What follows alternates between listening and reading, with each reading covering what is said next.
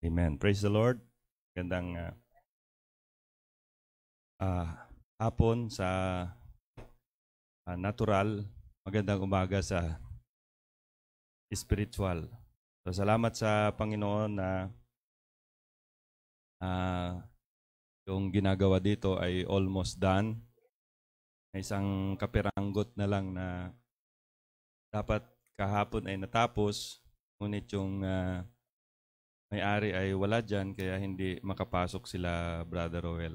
So, uh, medyo nawala na yung uh, isa pang, of course, hindi naman tayo nagwo-worry, but uh, uh, kailangan pa rin natin gawin kung ano yung uh, nararapat at uh, uh, yun naman ay uh, kailangan upang tayo ay magkaroon ng uh, lubusang kapanatagan. No? So, salamat din sa Panginoon sa fellowship kaninang umaga ron. At uh, uh, patuloy pa rin sila. At uh, uh, nabanggit ko nga ron na uh, this coming uh, Holy Week ng uh, mundo ay uh, uh, magkaroon ng isang uh, fellowship doon Uh, maluwag naman na actually ang ang uh, implementing uh, agency ng gobyerno patungkol sa COVID ay nagbagay, nagbigay na ng isang uh, uh, one uh, uh, policy. Yan ay uh, alisin na yung uh, travel authority, yung health certificate at saka yung quarantine. Totally abolish na yon. So, it depende ngayon, depende ngayon sa local government kung uh, mag-require sila ng swab. But uh, sa lapit na yan, I believe wala ng swab kasi uh, malapit na. So, uh, uh, let us prepare for that event. At the same time, Uh, kasi sinilip ko kanina yung ginagawa, uh, alos yung ano na lang, yung sa bubong. So, uh, kung last week yan ng April or first uh, week ng, ano ba yung ano, Brother Eric? Yung Holy Week ng mundo. One to, yung, uh, ano tayo? Uh, three. Oh, so three tayo. Kasi Saturday tayo eh. Saturday. So kung mga kapatid natin sa Bataan tulad ng ating ginagawa, uh, dito na sila matutulog at uh, uh, Sunday ng uh, morning dito rin tayo para tuloy-tuloy yung uh, gawain. So, uh, okay naman doon kasi silipin man tayo doon, eh, maluwag-luwag. Kasi uh, almost ganyan eh. Kung ano eh, uh, kalahati nitong church eh, halos yun eh, yung area nun eh, yung nadagdag. So tinignan ko kanina, medyo malaki-laki yon Kasi 4 meters by 9 eh. So malaki yon yung nadagdag. So 9, tama, 4 by 9 yata yon So malaki-laki yon no? So hindi tayo magsisiksikan na doon para patuloy din na ma-encourage at lalong uh, maging masaya ang mga kapatiran. No?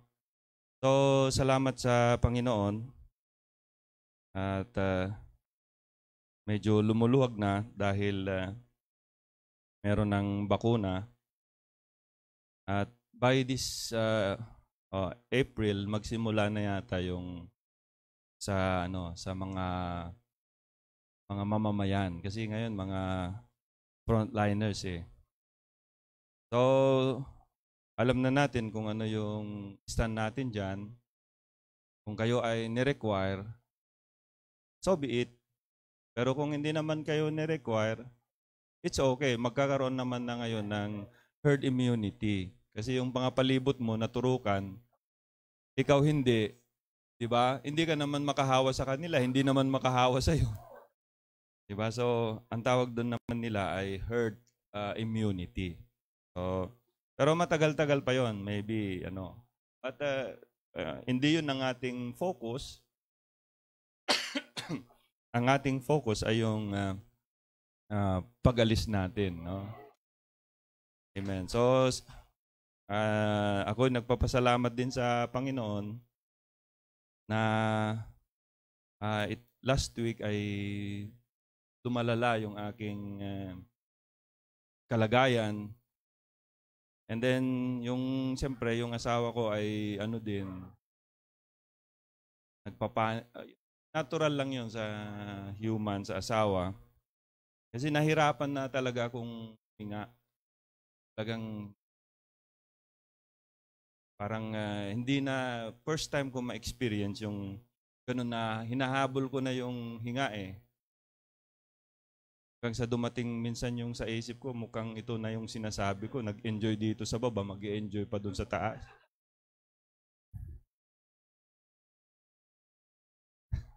Diba? Naranasan ko mag-enjoy dito sa living. Diba? mag enjoy din ako. Eh, di, sabi ng asawa ko, wala namang mawawala sa'yo kung magpatingin ka na.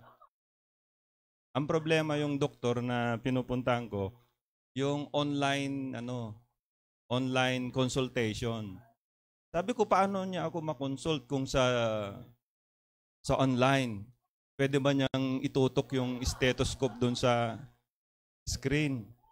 Sabi niya meron akong ano diyan, sabi niya meron akong uh, customer diyan na yung boss niya doktor. So pumunta siya ron at okay naman, okay yung face to face yung doktor ay tumatanggap ng face-to-face. So, pumunta ako, just a little testimony rin. So, pumunta ako ron. So, may sulat-sulat, ganyan. And then, uh, nung tawagin na ako ron, sabi niya, inuubo ka? Sabi ganon. Oo. Ilang araw na yan? Dalawang linggo. Dalawang linggo na. Ah, sabi niya, ah, wala kang COVID. Bakit? Kasi kung dalawang linggo kang inuubo at COVID yan, pneumonia ka na, naka-oxygen ka na. Tama ba, Sir Irene? Oh, so sabi niya, hindi yan COVID. Kung dalawang linggo na, na yan inuubo ka at COVID yan, naka-ICU ka na ngayon. So, eh, ano, ginan akin kanya paulit-ulit. Hindi ko rin siya masisi. Ewan ko kung naririnig ba talaga niya. Tutok-tutok. Tutok-tutok sa likod ko. Sabi niya, ano to? May bumabara doon sa mga ano, mga passage ng air sa ano mo. Ganon. Pero wala kang ano, sabi niya. Kailangan ko ba mang pa-x-ray? Hindi na. Hindi na. Hindi na. Damihan mo yung tubig. Uh, inom na, inom ka ng tubig. Tapos, yun, bigyan kita ng ano, parang, para lumuwag yung mga kumapit dun sa ano mo.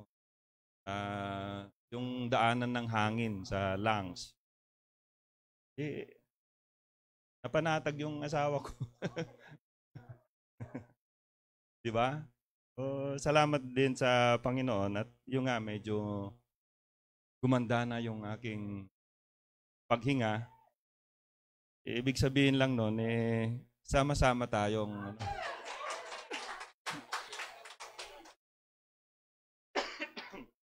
So, may konti pa. Kaya pagtyagaan nyo mga kapatid. Uh, so, salamat sa Panginoon. Yung, hindi siya yung abusadong doktor na tataring ka ng katakot-takot na reseta. Pagkatapos itutulak ka pa sa x-ray, kung ano-ano, para meron siyang komisyon. Ganon yung mga doktor, may mga komisyon yan sa mga sa mga laboratory. So, salamat sa Panginoon eh, na uh, it's just a confirmation. Alam ko naman yun, but uh, hindi naman ano yun, hindi naman uh, kumbaga sa ano, masama na tayo ay hindi naman tayo dogmatic because even the prophet himself Nagpabakuna si Brother Branham. Every time na mag-travel siya, nagpapa-check up siya sa uh, mga ano na lang yon yung mga ganon. Uh, extreme. So we are not depending on uh, medicine, pero we have the right to know what is happening in this body. Diba? O, di, salamat sa Panginoon. Uh, Sabado, nakarating uh, ako rito. At yun, nakakatuwa na uh, ano, so, na, maganda na yung maganda na rin yung ating ano. Anyway, hindi man yan yung mismong bakod natin. Pero panatag na tayo kasi kung gumanyan yan, hindi naman hindi naman tayo ligtas sa ano sa pananagutan. So, salamat sa Panginoon, no? At uh,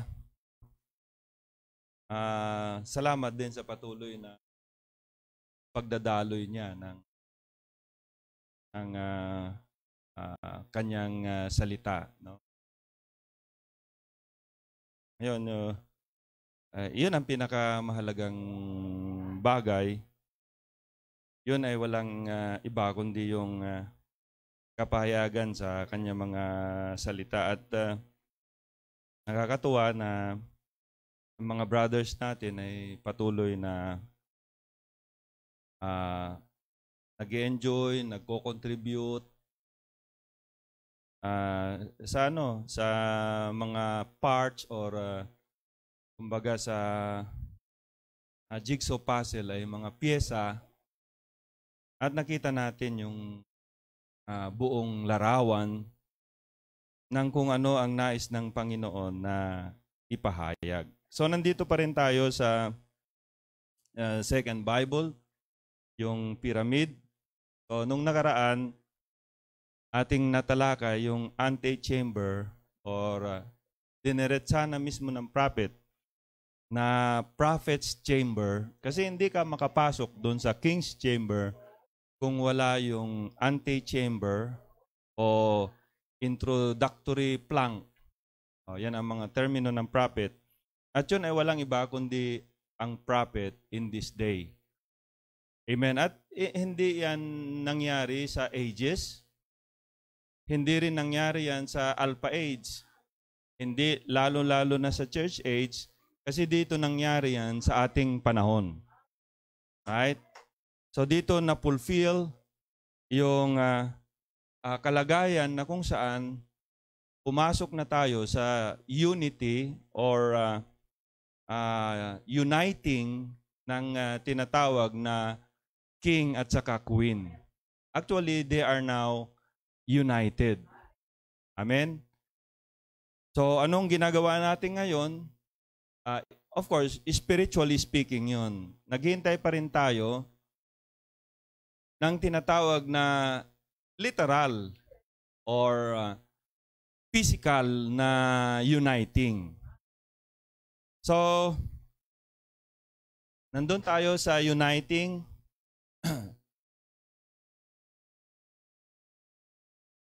of the king and queen. Now, yan ay issue tungkol sa term. Pa? So, may mga believers dito sa message na ayaw gamitin yung king. Kasi wala pa sa time. Right? Meron ding dito sa message, ginamit yung king, ayaw na yung groom. Right? King na. Kaya nga, son of David na tayo. Yun ang mga tayo. Dito ma, pinaka-controversial ito. Di ba? Yung iba, uh, bride, ayaw ng wife. Ayaw ng queen. Di ba? Gusto lang bride lang. Yung iba naman, ayaw ng bride, gusto wife lang. But you know, it's the same. Malalaman natin ngayong hapon, lahat yan ay termino na patungkol sa bride. So it doesn't matter. Alam lang natin i-place kung saan yan mangyari. But, the prophet himself, makikita natin, tinawag niya lahat yan, presenteng panahon. Even, even uh, John the Beloved, sinabihan siya, right? Ng uh, seventh angel. And we know who is that seventh angel. Sino yung seven angel na nagsabi kay John? Bagamat sa scripture na kasulat, one of the seven angels. Right? I will show thee the bride, the lamb's wife. Sino yung may ministry na ganon? Eh the seven angel, right? Eh gusto siyang sambahin ni John. Pero sabi ng angel, huwag mo akong sambahin Pareho lang tayong propeta. And Brother Branham said, yung angel na gusto ni John na sambahin ay si Brother Branham. Oh, quote. One time, question ako dyan. There's a quote. Sabi ng prophet, that angel is the fulfillment of Malachi chapter 4. That angel is the Elijah in this age. Right? Di ba mga batid? Kasi siya yung most vindicated prophet, more vindicated prophet from the time of Enoch. Right? Amen. Now, so nagkaroon na ng uh, uniting. At yun ang inahintay natin. Amen? Dahil napulfill ito hindi sa Alpha Age, hindi sa Church Ages, kasi ang church ages ay courting time. Kung idadaan natin sa spiritual, ang church ages ay courting, panliligaw. Right? And then, Pentecostal age, mga kapatid, is the type of uh, yung uh, pagbibigay ng regalo. Di ba? Alam ni Brother Joe dyan, uh, alam niya yan, yung magre-regalo ka. And uh, Pentecostal age is the age of giving gifts. Di ba? Oh, sa age na yan, nandyan na yung different gifts. Right? Pero wala pang uniting. Wala pang marriage. Nagkaroon lang ng marriage nung mabuksan yung seal. Nung dumating na mismo yung tinatawag na uh, groom in word form, in spirit form. Right? Nagkaroon na ng marriage. The invisible union of the heavenly groom and the earthly bride. Right?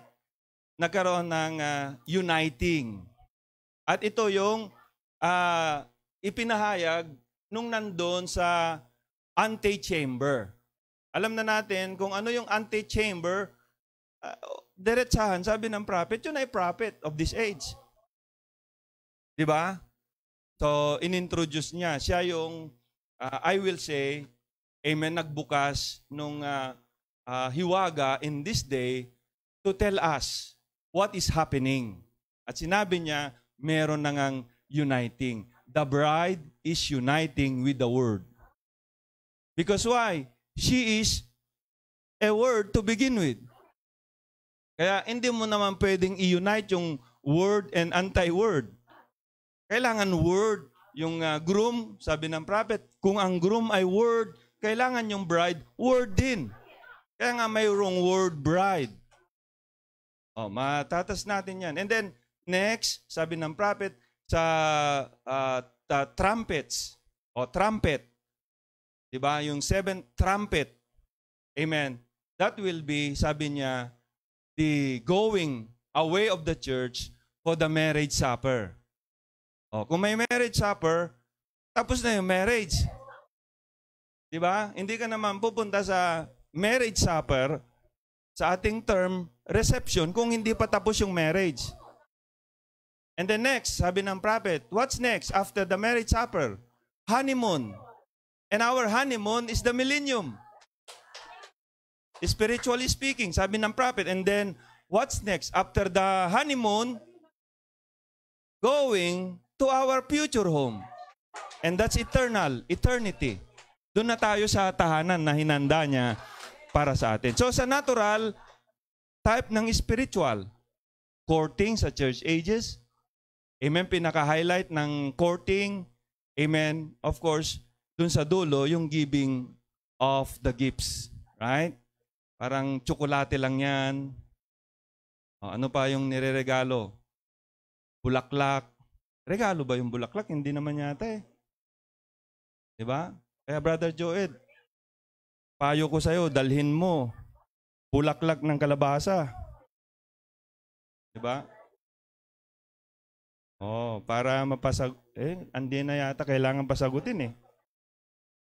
Yan ay simbolo ng aking masustansyang pag-ibig.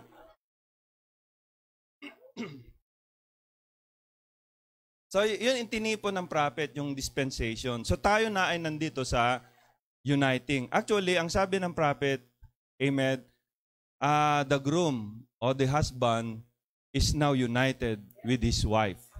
Sabi niya, and uh, that husband is now whispering secrets to his wife. So tapos na yung marriage. Di ba mga kapatid? So may mga individual pa, hindi pa umabot doon, but uh, uh, tapos na to begin with when the seals were open. Amen. Un- unti-unti na lahat ng mga elect, predestinated, anuman yung circumstansya kinaroroonan nila, anuman yung kalagayan nila, God is obligated na uh, tawagin sila. God is obligated na ilagay sila sa kung saan malalaman nila kung sino sila. Uh, that's uh, how the Lord works in this day. Now, sa Book of Esther, napakaganda yung Book of Esther. Actually, binalikan ko ulit yan. Napakaganda talaga. Uh, chapter 5, meron pang time frame na ito ay mahalaga din sa atin. Now it came to pass on the third day, not first day, not second day, third day. Ano ba yung third day? Di ba? First, justification, sanctification, and then baptism of the Holy Ghost. Yan ang type ng third day. Baptism ng Holy Spirit. That Esther put on her royal apparel. Yung garment. Hindi, sa kanyang time, literal, in this day, yung authority mo. Kasi sa uh, First Bible, ibinigay na ni King Ahas, uh, King uh, Sepeus yung uh, golden scepter at hindi lang golden scepter ang binigay doon sa kay Cassiopeia, kundi pati na rin yung sword of the king ni Perseus, right? So, it's the same. Okay. And stood in the inner court of the king's house, over against the king's house. And the king sat upon his royal throne in the royal house over against the gate of the house. And it was so when the king saw Esther, the queen, standing in the court, that she obtained favor in his sight. And the king held out to Esther the golden scepter that was in his hand. Niladlad eh. So marahil at that time, may mga critic naghihintay na mapaslang talaga si Esther at that time. Because to begin with, Esther ay hindi nila kalahi. Esther was a Jew and uh, that kingdom of Ahasuerus is a Gentile. Was a Gentile rather. Right? So ina-expect nila ngayon na patay siya kasi, kasi walang ano, walang uh, utos ang hari na pumasok. Pero baliktad because why? Nakasumpong ng uh, uh, favor itong si Esther. At iniladlad sa kanya yung golden scepter. So Esther drew near and touched the top of the scepter. Inacknowledge niya to begin with. Hindi siya natakot. Lumapit siya sa golden scepter at tinats niya. In other words, inaccept niya. Right? Then said the king unto her, What wilt thou, Queen Esther? And what is thy request? It shall be even given thee to the half of the kingdom. Ano yung petition mo? Ano yung request mo? It shall be given unto thee. Right? Ano yun mga kabatid? Amen. The authority, amen, of the king is in the queen. Right? Kasi mahirap yung request ni Esther. Ano yung request ni Esther mga kabatid? Actually, kung babasahin nyo yung book na yan, uh, three times na sinabihan siya ng hari, What is thy request? It shall be given unto thee. Right? So ano yung request ni Esther? Lahat ng kababayan niya ay pupuksain. At ang utos na sila'y puksain, naiisa batas na. Sinong gumawa ng nag-drop ng law? Si Haman, right? At yung hari natatakan na ng singsing. In other words, mga kabadid, it is good as finished. Tapos na. At ang request ni Esther ay mahirap. Right? Mahirap because yung hari mismo ang nagselyo ng kanyang singsing. Doon sa kautusan, napapatayin lahat ang mga Hudyo. Binaliktad ngayon ng hari. Alang-alang kay Esther. Right? Eh kung babasahin nyo ang Esther, baliktad na. Lahat ng nag-akusa, lahat ng mga may gustong patayin ang mga Hudyo, yun ang pinagpapatay. Right? Unang-unang uh, pinitay ay yung gumawa ng batas.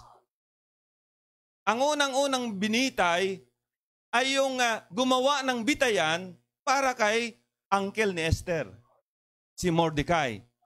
Right? Oh. Pagkatapos, yung sampung anak niya, binitay din lahat ng mga Hudyo.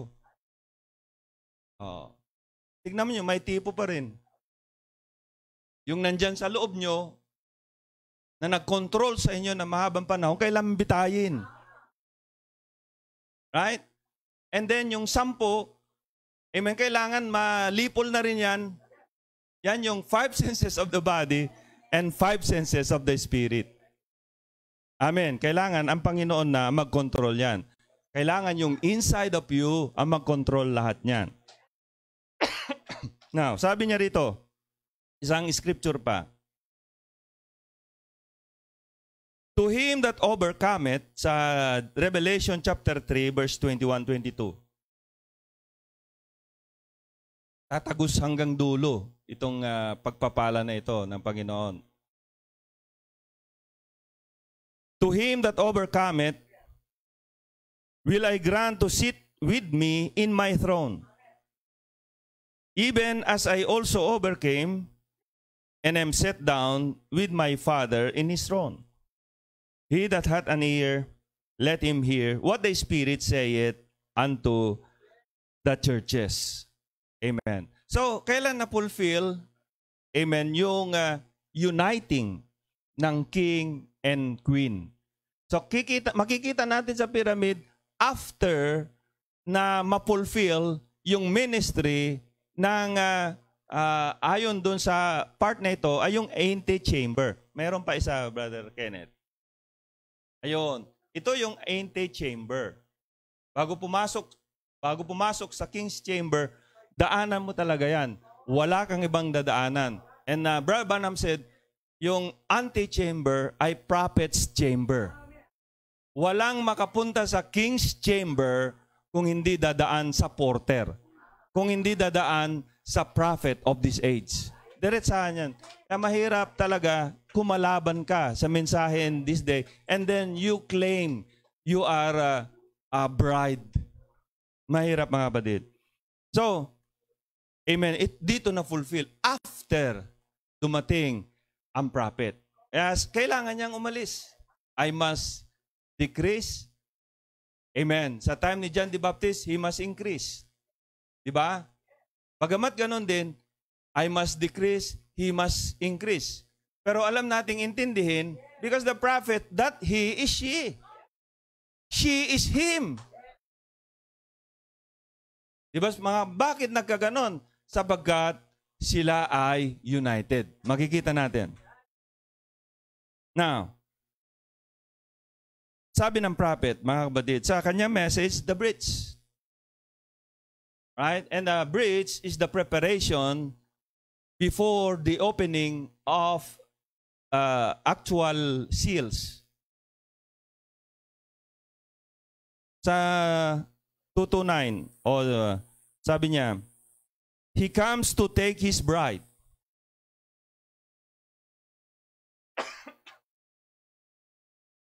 Yan. Now, He comes to take His bride. So yan ang kanyang purpose. Dumating siya para kunin niya yung bride. Amen. He comes now as king. Papansinin niyo mga termino, now. He comes now as king. Yung iba naman, o oh, tignan niyo quote, sabi niya, he comes as king. Kaya nasa son of David na po tayo. No, wrong. Hindi siya son of David because son of David is ministry of the Lord Jesus Christ to the Jews. At yan ay mangyayari sa millennium. So ngayon siya ay king, pero sabi ng prophet, hindi king of the Jews, but king to the bride. King to the saints. Amen. He comes now as king. He is looking for his queen. Ang hinahanap niya ay yung queen. Right. Di ba mga kapatid? Amen. At hindi na natin bibigyan ng uh, uh, anumang uh, kuro-kuro ang uh, salita ito ng uh, prophet because God always succeed. Tagumpay lagi ang ating Panginoon. Hindi ko pa nakita ang Panginoon na nag-fail. Ngayon, ang tanong, nagawa ba niya na hanapin yung queen? Amen. Now, sabi niya, Amen, Amen. In this book is the whole secret of it. Anong book? Yung book of uh, uh, redemption. Sealed with seven seals. Amen. Nandun lahat. Nandun lahat ang mga listahan. Right? Amen. Kaya kung ikaw ay nakasulat doon, Amen, mahahanap ka ng Panginoon. Amen. Wrap up around seven seals. Oh, brother, seven seals waiting for him to come. Amen. So alam na natin when uh, he came. Diba? Sabi ng prophet, the seven seal brings him back to earth. Amen. Yung seven seal, ikapito, ang nagbaba sa kanya. Right? So nung dumating yung ikapito, ipinahayag ngayon yung anim. Mali po yung anim munang napahayag pagkatapos dumating yung ikapito. Mali po yun.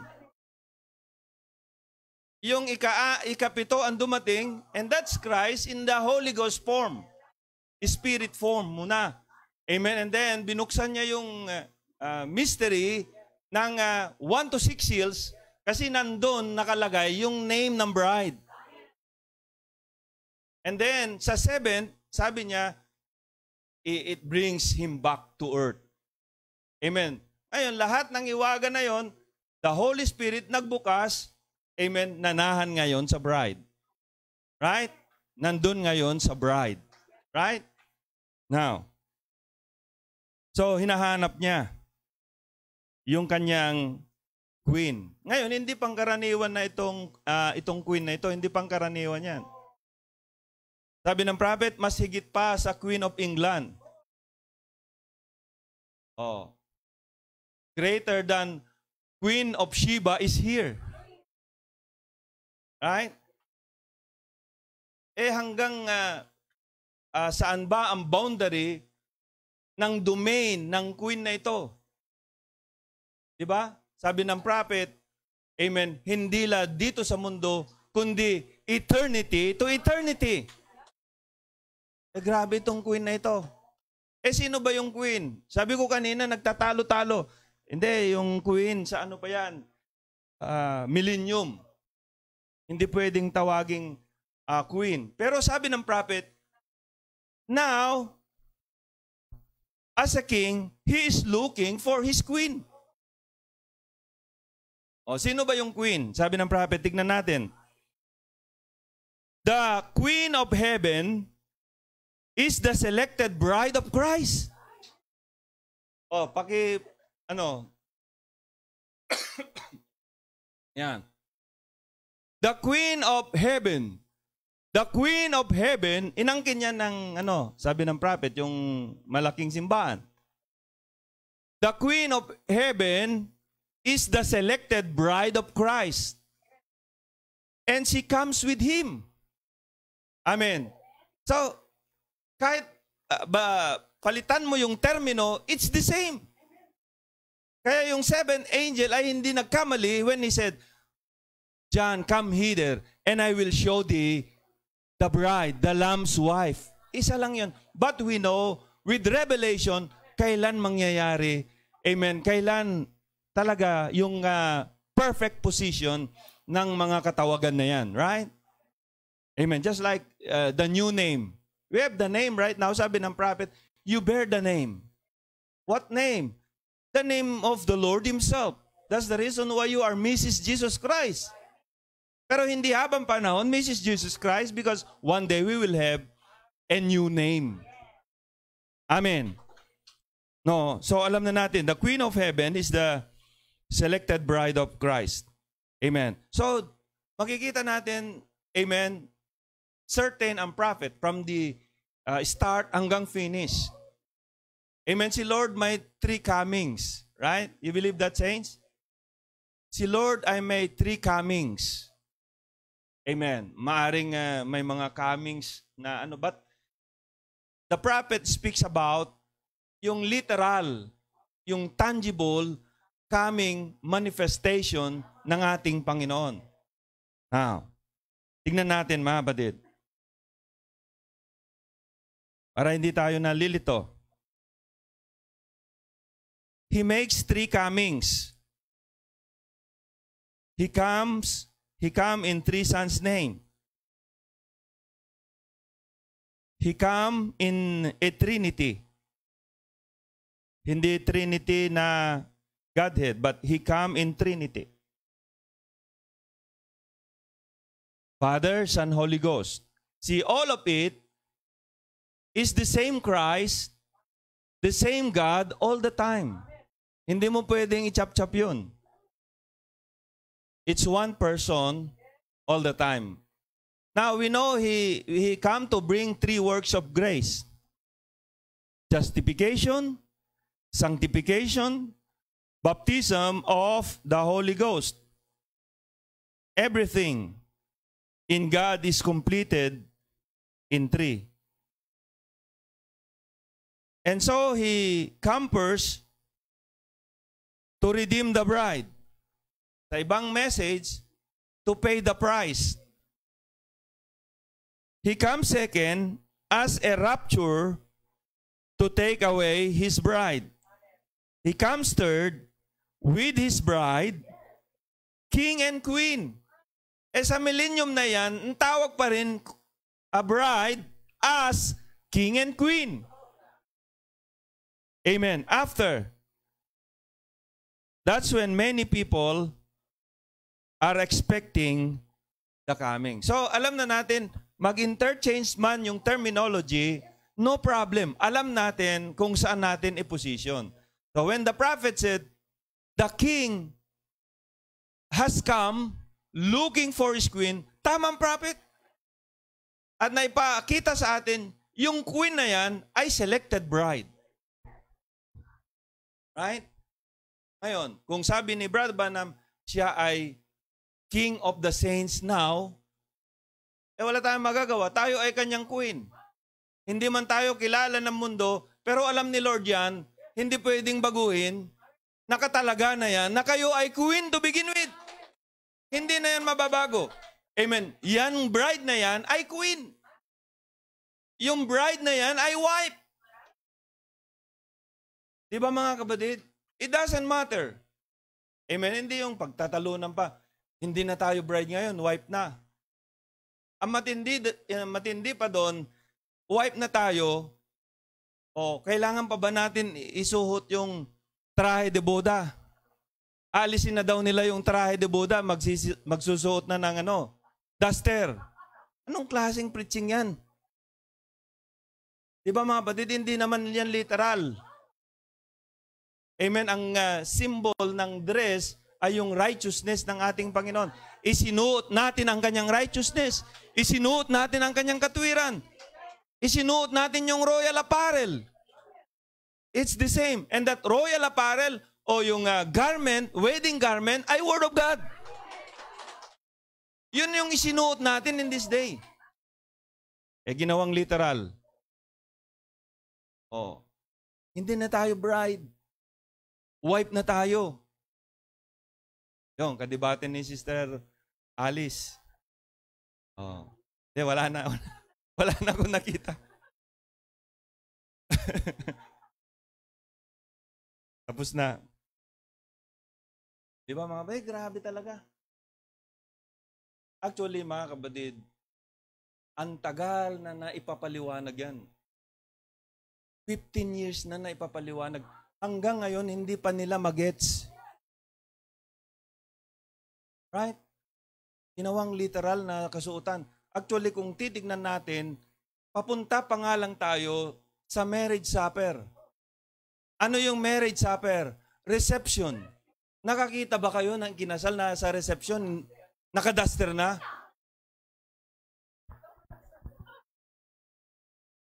Wala.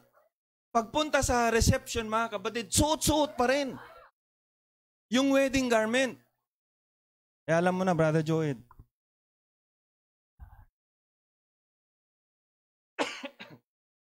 Lagi si Brother Joed. Amen.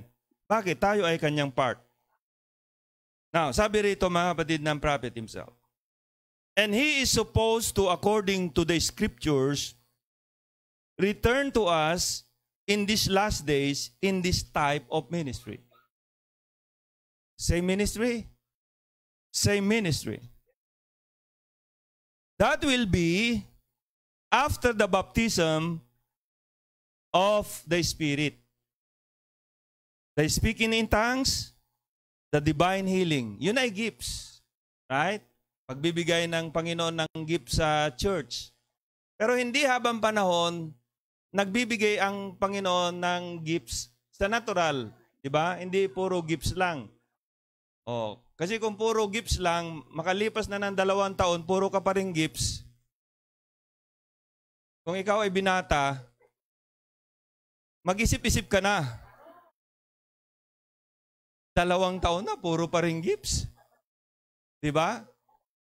So what's next after the gifts? The giver of the gift. At yun ang pinakamahalaga sa atin. Hindi yung gifts. Bagamat hindi inalis yan ng Panginoon. Pinakamahalaga sa atin bilang bride.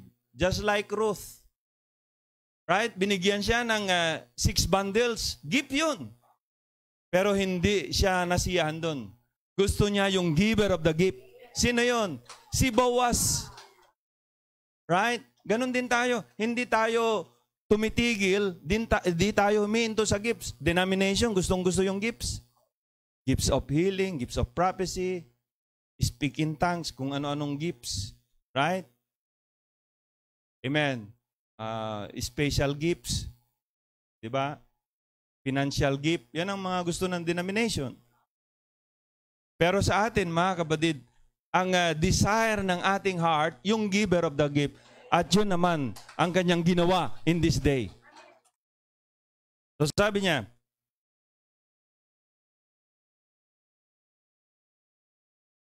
So, divine healing and so forth, these things. The capping of the Pentecostal message is what we're speaking of today. The ministry of the Christ himself impersonated among his people with the very same thing that he did when he was here on earth. Kanino? Saan? In his body. The bride. Which is part of him. Doing the same things as husband and wife. Pansinin nyo. Or king and queen. Just before the marriage ceremony. Ano ang highlight ng marriage ceremony? The reception. Right. Di ba mga kapatid? After ng marriage, dun sa marriage supper of the Lamb. Right? Kasi yung nandun sa marriage supper of the Lamb, ay bride lang. Amen. Yung iba ay after pa lang ng white throne judgment. Amen? Doon, exclusive. Now, mga tanong, meron ba tayong literal na kakainin sa marriage supper? Yes, meron. May pastor nagsabi, ano lang daw yon symbolical. Symbolically, kumakain na tayo ngayon in this day ng seven-course menu. Kung spiritual, symbolical yan, ginagawa na natin ngayon.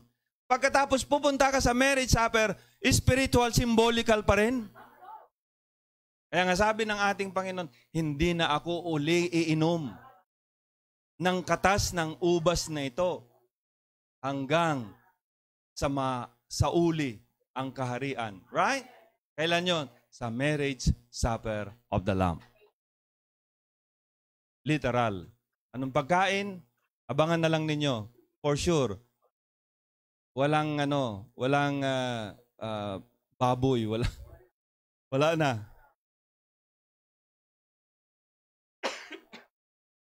It, tatapusin na yung uh, pagpatay ng hayop. Right? Oh, for sure, tinapay, bread. Kasi yun ang communion, bread, right? Eh, saan kaya galing yung bread? Huwag niyo nang problemahin. Maraming magagaling na panadero sa langit. Kaya sinabi ng prophet yan, ang kinain nila sa ilang ay pagkain na galing sa langit. Oh, di ba mga kapatid? Oh, ibig sabihin, doon galing. Eh, walang imposible sa Panginoon eh. But isang bagay ang sigurado, walang papantay doon ang sarap. Right? Oh. nag enjoy tayo sa ano, masasarap na tinapay. Right? Pero mas higit 'yon. I don't know how it tastes. Pero hindi naman maghahanda ang Panginoon ng basta-basta. Pride niya yan. Di ba? Ikaw ba, brother, mag-joed? Kain tayo sa labas. Yan yung nagpapasiklab pa lang. Ba? Saan tayo? Sa Jollibee? Okay, okay na rin kahit papano. Hindi, sa turo-turo. Yung turo-turo pag mag-asawa na. Pag nanliligaw pa lang, eh, hindi ka papasa. Kailangan kahit papano, pinaka ano na yon Jollibee. Eh, Guang Susana, kaso lang, wala na. Naka ano ngayon. Ba't tayo napupunta ron? So makita natin mga kapatid, husband and wife, kung papansin ninyo, king and queen. Yun pa rin. Right? Amen. Because why? Dito nangyari yung uniting. Amen. So kahit na anong tawag mo, husband and wife, king and queen, groom and bride, alam na natin ngayon yan mga kapatid. Because pag tinawag ka bride to begin with, hindi ka na mawawala. 'Di ba? Meron bang bride na biglang nagbago ang isip ng Panginoon? Bride ka dati pero ngayon hindi na. hindi po pwede mga kapatid. Now, sabi niya rito, God's body united as His bride, being one. Him and Christ together is the Spirit working in the flesh of the church like it worked in the flesh of Jesus Christ. Because it's part of His body. Not twain, but one. They are one. Amen. So, ganun yung presentation ng prophet. Yung spirit at saka si Christ, isa. Di ba? Oh. It doesn't mean na uh, pag sinabi ng prophet na that spirit dwell in Christ, hindi ibig sabihin doon, mga kapatid, na si Christ ay hindi God. Di ba? The spirit dwell in Him. Correct yun mga kapatid, but it doesn't mean na hindi God si Jesus Christ. Same thing today. When we say the Spirit dwells in His bride, it doesn't mean na ang bride ay hindi part of that God Himself. It's the same. Now, they are one. A husband and wife is no longer two, but one. And Christ and His body, yung body na yan ay bride body, is one. And the same Spirit was in Christ, is in His bride. In His body, that unites them together with all the Word. And God living in there, Himself manifesting it. So, meron bang uniting ngayon in this day? Yes. Right? That great spirit nag-unite sa flesh 2,000 years ago. Right? And that great spirit nag-unite uli sa flesh in this day. And then one day, amen, yung spirit na nag-unite sa flesh, hallelujah, ay magkakaroon ng uh, literally na uniting. Amen. Bakit? Yan ang promise sa atin in this day. Si Lord Jesus Christ corporally will come for we will meet Him in the air. Hindi yung spirit ang maghihintay sa uh, sa air, corporal body. Kaya nga maraming nalilito mga kapatid when, oh, when the prophet said, Amen, He will come. Christ will appear in this day. Yun ang mga termino ng prophet na hanggang ngayon nahihiwagaan ng marami. Amen. Pag mababasa mo, Christ has appeared. Past tense. Right? Christ is here. Right? Puro past tense, uh, present tense. Ngayon, dedebatehan ka naman yung kulang ang unawa. Eh wala pa si Christ. Hindi pa dumating. Pero binigyan na tayo ng kalinawan ng uh, kanyang salita. Diba? Sabi ng prophet, Amen, sa second coming ni Christ, hindi siya bababa dito sa earth. Right? Ang tinutukoy niya yung corporal body. Hindi nga pwedeng bababa dito yung corporal body kasi yung body niya ay nandito. Yung many-membered body ay narito. Pero yung Christ o yung Spirit ay dumating Amen. Para, amen, i-unite niya yung body. Right? I-unite niya yung body sa word. Right? Di ba mga batid? Sabi ng prophet, the bride is uniting with uh, with the word. Yun yung uniting. Right? And that word, mga kapatid, hindi natin pwedeng ialis yung spirit. Di ba mga kapatid?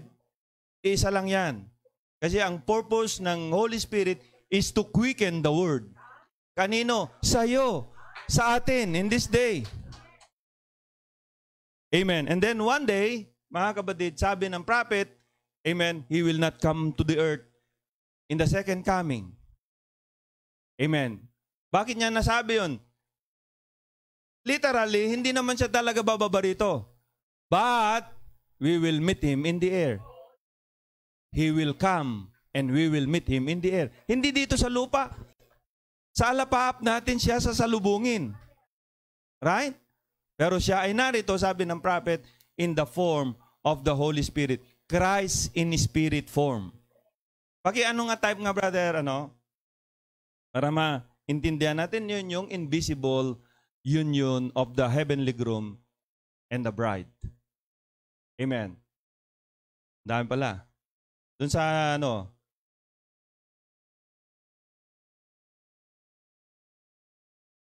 Lit lang nga, Brad.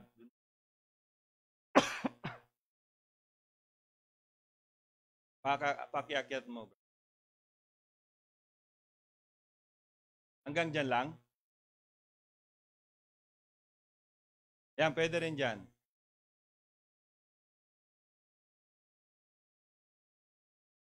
May ano siya, yung uh, uh, uh, corporal body in the throne.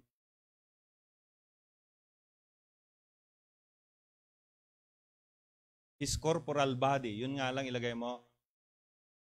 Maganda makita natin yung mga is in the throne.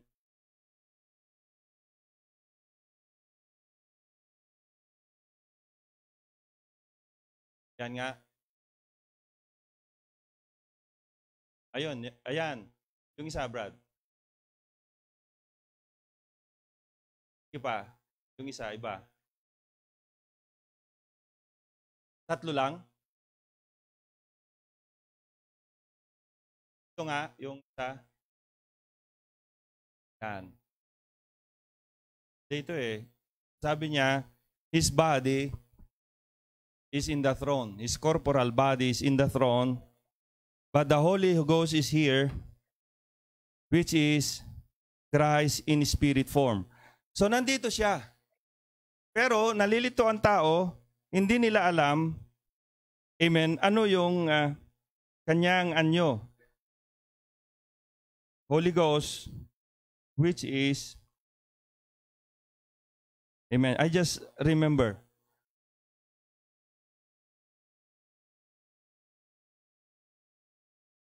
Okay? Maganda madam, makita natin yung coach manayan para maging uh, ano natin, maging gabay natin, no?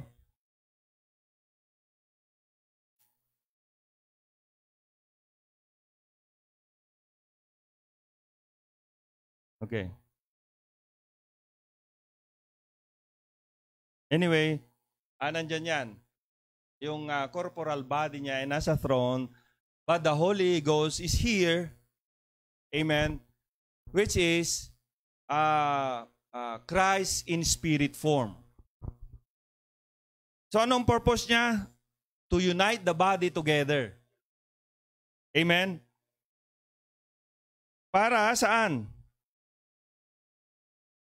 So sabi niya dito mga kapatid, And the same spirit was in Christ, balikan na natin yung kanina. Anyway, ma, ma, uh, maalala ko yung exact mamaya. And the same Spirit was in Christ, is in His bride. In His body that unites them together with all the Word. And God living in there Himself, manifesting it. O, nakita na ni Brother Joed, paki Brother Joed. Amen. Amen. So yun ang purpose, mga kapatid, in this day, yan yung second coming. First coming to pay the price. Amen. Uh, second coming is to claim what he paid. Right?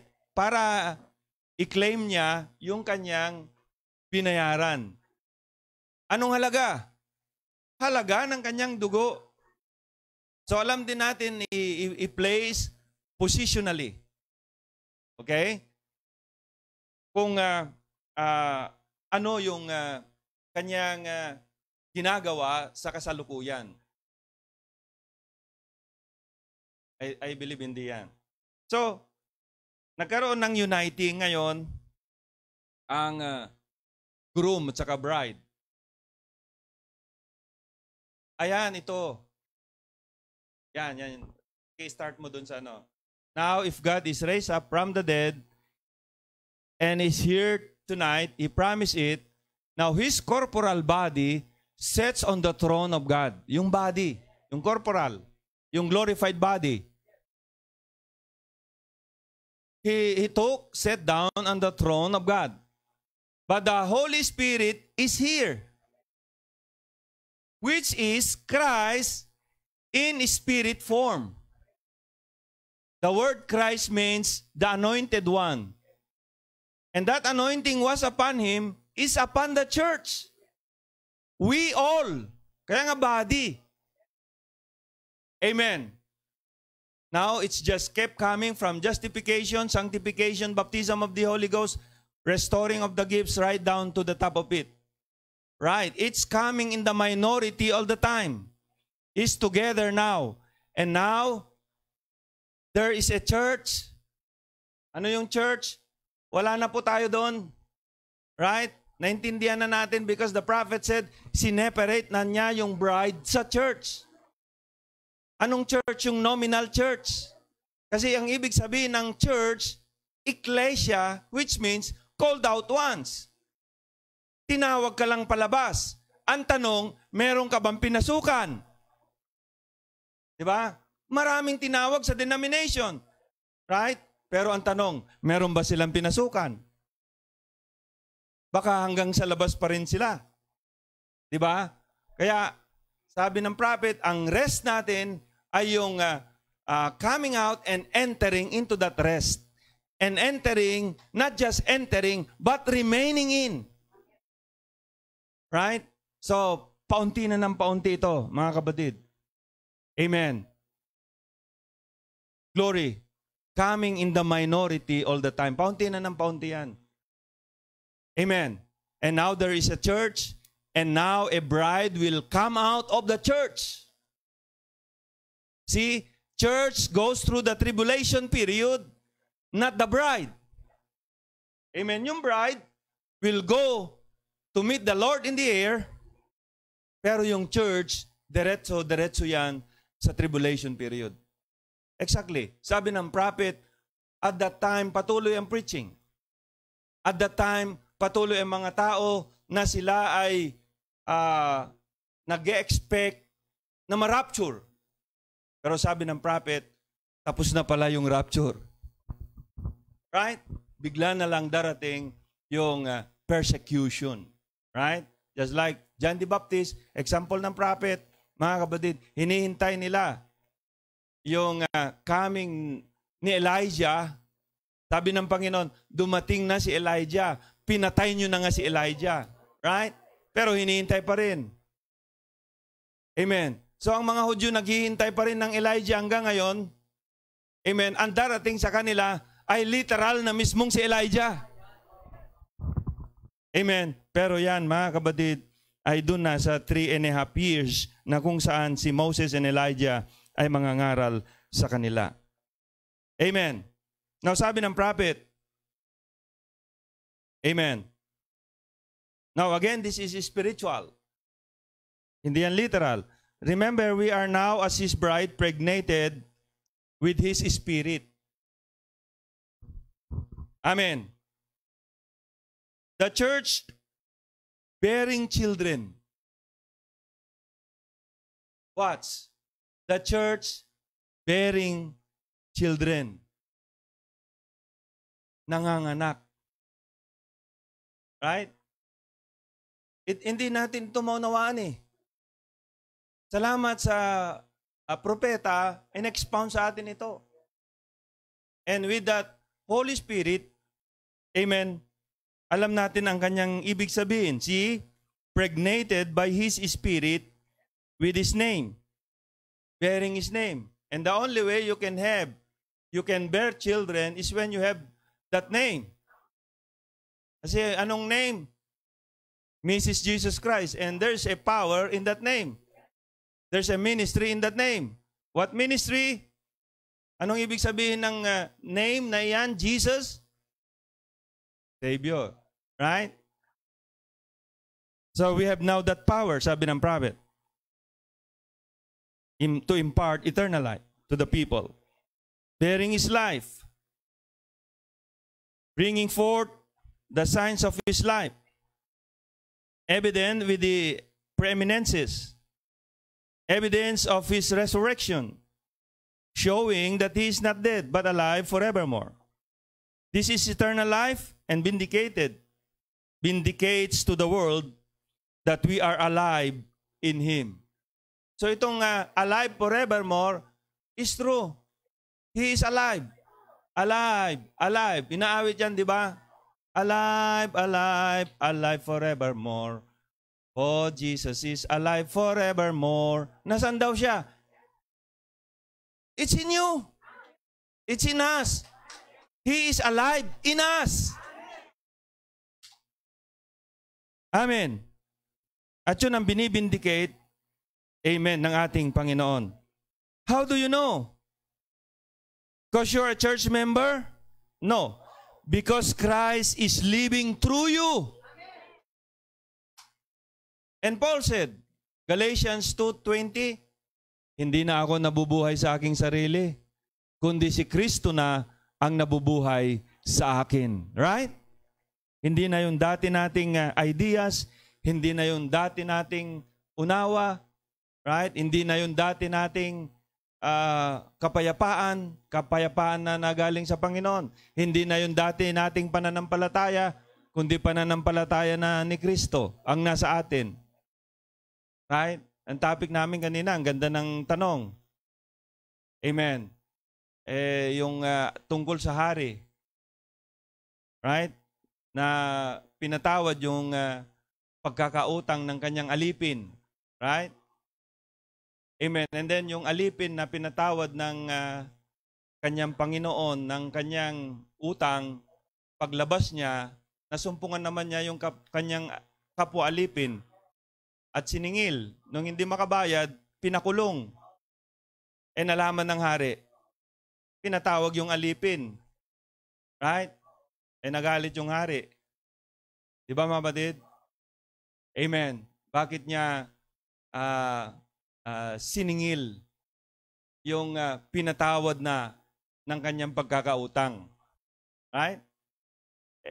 Very simple, mga kapatid, but it talks about yung uh, how we deal. Amen? Hindi yung utang na literal tinutukoy doon, but yung kasalanan ng tao. So, isang brother tumayo, hindi ko kaya yan, pastor. Yung magpatawad, hindi ko kaya. Sabi ko, hindi mo kaya yung gawin kung walang, wala si Kristo sa iyong puso. Ngayon, ibig sabihin lang, hindi mo kayang gawing magpatawad, wala si Kristo sa iyo. Kaya ngayon, mag-start ka ng manalangin. hindi daw hindi daw niya kaya magpatawad. Sabi ko, tinanong ko siya, meron bang tao na nakaagrabyado sa iyo? Wala naman, baka sakali lang mangyari sa inarap. so sabi ko, alam mo na. Grabe mga batid. So Christ, because Christ is living through you. So pregnated with His Spirit, you're prisoner to anything else.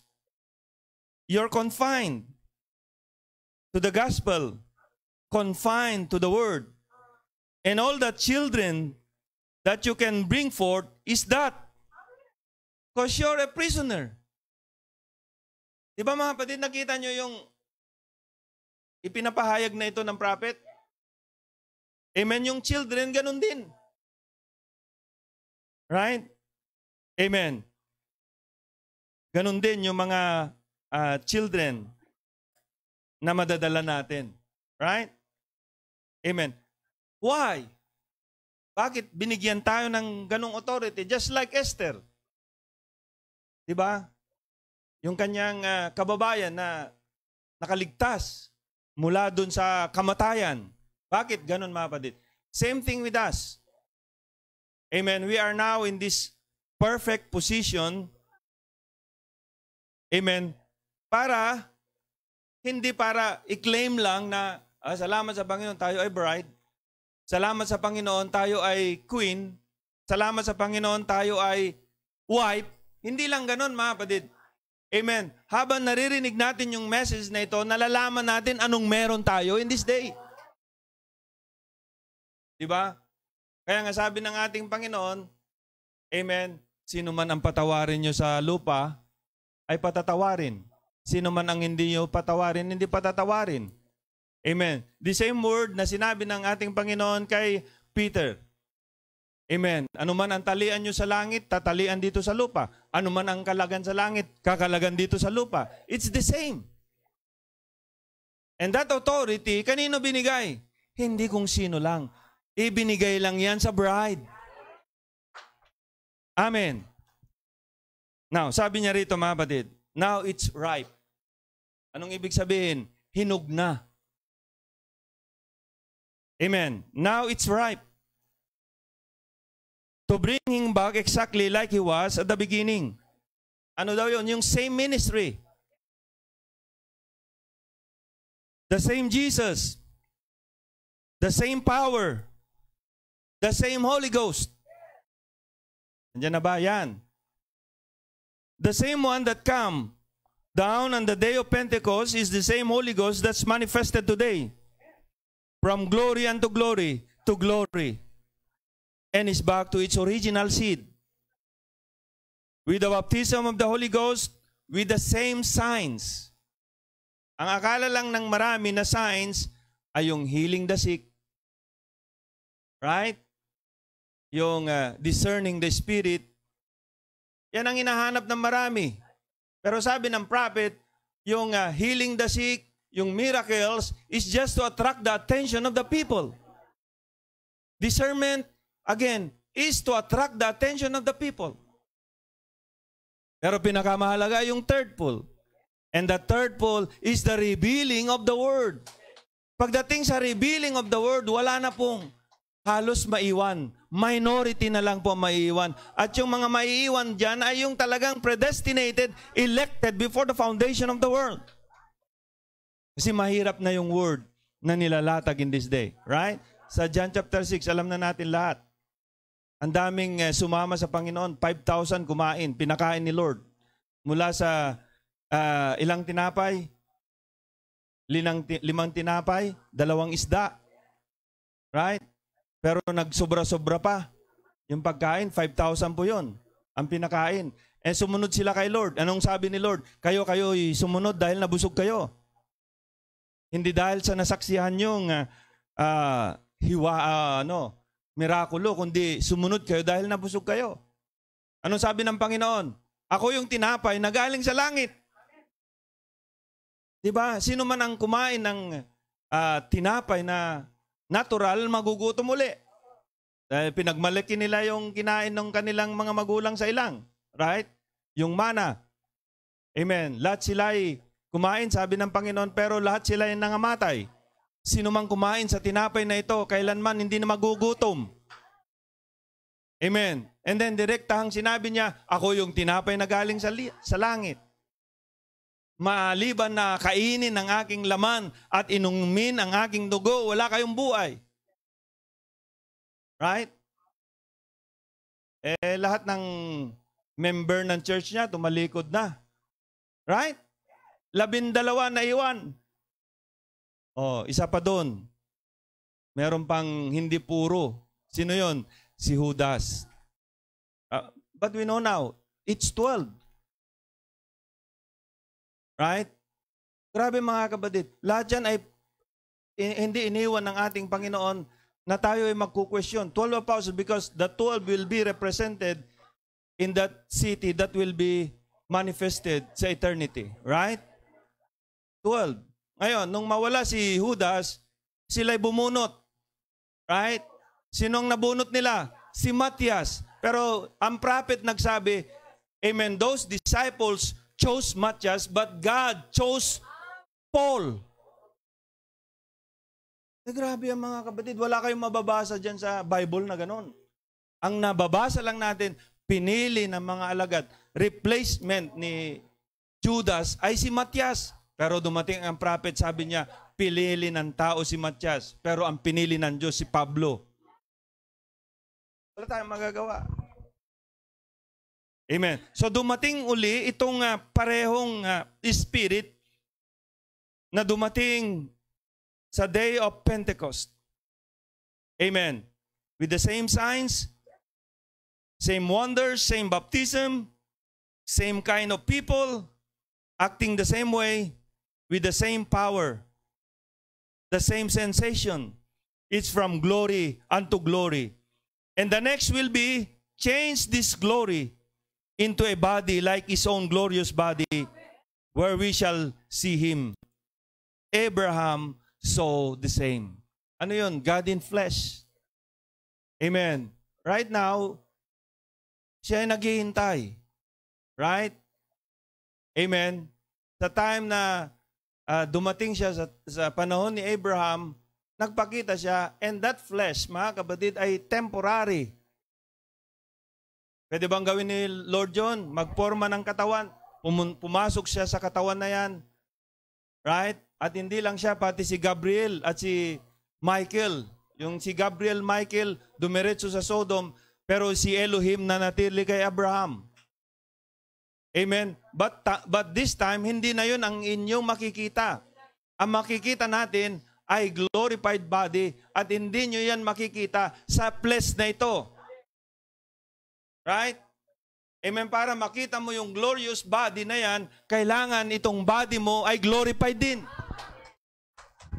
Kaya makikita natin siya na mukhaan kasi ma-change din tong body na ito like unto His own uh, glorious body. So, ang susin niyan ay uniting.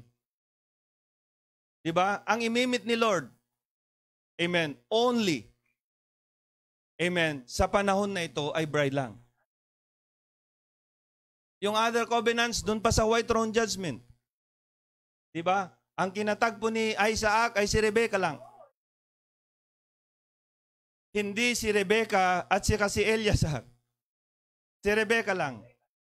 And uh, ang difference in this day, yung Eliasar ay part ni Rebecca. Amen.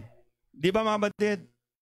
Now, sabi niya, can't you see where we're standing? Nakikita nyo na ba kung saan tayo nakatayo? Ano ang stand natin? Tinanong yan. Life is the grain again. What is it? Just exactly the, like the same grain that went in the ground. The same Jesus in the bride form. Wala tayong magagawa yan. Ang declaration ng prophet. Yan yung mystery na nahayag. Same Jesus in what form? Bride form. In morphe. God changed His mask. Amen. Di ba mga kapatid? And this day, amen, sa, uh, sa form ng bride. Same power, same church, same thing, Hallelujah. Same word. The same word suck up through this and come out here and come to a head here. And all that life that come through here, pick up its people. Anong ibig sabihin? Sa church ages, mga kapatid, unti-unti na silang tinatawag. Sa bawat panahon, now it's forming up into a head. For what? For a rapture. And, and, and the prophet said, when the church knew her position, then one day, the rapture will go. Kasi nandito na. The prophet said, the rapture is a revelation to her. Amen. Luther was a part. Wesley was a part of this rapture. Bakit mga kabadid? Kasama sila sa bride. Part sila ng bride. Amen. Dito lang sa time na ito, nagkaroon ng tinatawag na uniting. Amen. Kung titignan natin sa pyramid, pagkatapos ng uh, Grand Gallery, yung seven stones, seven steps, sunod agad, mga kapatid, yung uh, uh, antechamber. So nabanggit ko nung nakaraan, ang inintroduce ng prophet ay hindi lang yung bride ng uh, Laodicea o seven church age. Unlike doon sa uh, messengers at church ages. Amen. Talagang uh, uh, meron na bride in their day and they were the leader of each age. Eh ganun din si Brother Branham, Pero eh, si Brother Branham may dalawang bagay ang kanyang ginawa. To restore the lost things. Amen. Naging messenger siya sa Laodicea. Right? And then, Amen. Ano yung second fold? To reveal the mystery of the seven thunders, which is the revelation of the seven seals, or uh, the revelation of the seven thunders, which is contained in the seven seals. Right? So ang, re- ang nilalaman ng seven seals ay seven thunders. Amen. At sino yung na-reveal sa seven thunders? Christ. In bride form. Hindi Christ in male form. Na-reveal na po yan. Alam na lahat yan. Pero ang iwaga na nabuksan in this day, another manifestation of Christ in bride form. Amen. At dito na ngayon yung time na may uniting ang tinatawag na uh, king and queen. Kaya nga sabi ng prophet, he comes as a king looking for his queen. At alam natin yung queen na yan, ang queen ay yung selected bride. Bakit selected bride pa? Ang dami kasing nag-angkin na bride. Pero merong elected, selected talaga ng ating Panginoon. And we are so blessed na tayo ay par- part ng selected bride na yan. Right? Amen. So, nandun na tayo, united, united na tayo, pumasok na tayo sa King's Chamber. And we will see later, amen, sa susunod, kasi mahaba-haba yun, yung seven uh, stages or seven, uh, uh, ano, uh, rather, yung pitong palapag ng King's Chamber.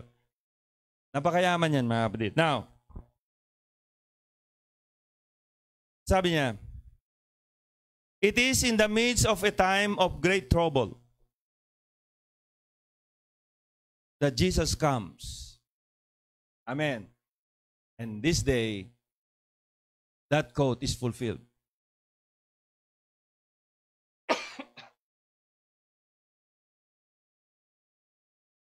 It is in the midst of a time of great trouble that Jesus comes. Times of trouble ba ngayon? Naturally, yes, because it's pandemic. Spiritually, yes, because why? Ang tao ay confused. Diba? Kaya nangyayari, selective revelation, collective revelation. Ito nakita natin, dito lang tayo. No, we are so blessed na nandyan ang prophet, hindi nagkulang ang Panginoon na ibalanse ang lahat. Right? Yan ba ay symbolical? Yan ba ay spiritual? Yan ba ay type? Yan ba ay shadow? Yan ba ay reality? Anong tinutukoy niya? Right? And we are so blessed na sa loob ng uh, sampung taon, we started 2010 tulad ng aking uh, nabanggit one time, amen, talagang the Lord Himself started with the key. Ano yung key? Genesis 1:26, 27. And it so happen, yun din ang naging key sa mga brothers natin. Yun ang susi and then putok na ng putok. Because the prophet himself, siya mismo nagsabi, kung makita ninyo ito, Amen. Makikita ninyo ang maraming bagay. Right? If you see these things, you will see many things. Oh. And with His coming, there is a resurrection. Oh. Alam na natin agad i-place. Dumating na ba siya? Yes. Oh, tinanong, dumating na ba siya? No. Right? Alam natin kung paano natin sagutin dumating siya in spirit form at nag-unite sa bride, right? Pero dumating siya as corporal, wala pa. Kaya nga, yun ang uh, talagang uh, balanse na pagpapahayag ng propeta, dumating na siya. Ngayon, pag doon lang sa isang banda yun ang uh, nabasa mo and then binakuran mo yan, ah, dumating na siya. Eh, yung iba, ganun na nangyari, kaya hindi na sila naniniwala sa literal coming of Christ. Right? Yung iba naman, hindi tinanggap yung isa, tinanggap lang dito. Ang sinasabi, Ah, wala pa si Christ, hindi pa dumating. One time may nagtanong sa akin, dumating na ba si Christ? Yes. Yan ang kanyang promise. Eh, ba't narito ka pa? Sabi niya sa akin, No, you don't get what I say. Sabi ko sa kanya, yes, in spirit form. Pero yung uh, corporal coming, actually, hindi siya bababa dito sa lupa, sabi ng prophet. Hindi na siya darating dito sa lupa. Bakit? Yung body niya ay narito. Kaya nga, sasalubungin natin siya sa alapaap. Yan ay corporal, literal, uniting meeting. Di ba mga kapatid? Hmm. So sabi niya, and with His coming, there is a resurrection. Anong coming yan? Spiritual form. Amen. And now, it is literally sa form ng bride. Alam naman natin i-place yun. Hindi naman tayo na ano yon nalilito. Many are to come forth out of the dust and rise with those who are alive but waiting for His return. Sino yung alive? Siyempre tayo. And this will be given crowns. So alam natin yung crowns. yung corona. Sabi ng prophet, ang crown ay Holy Ghost. Ang crown ay eternal life.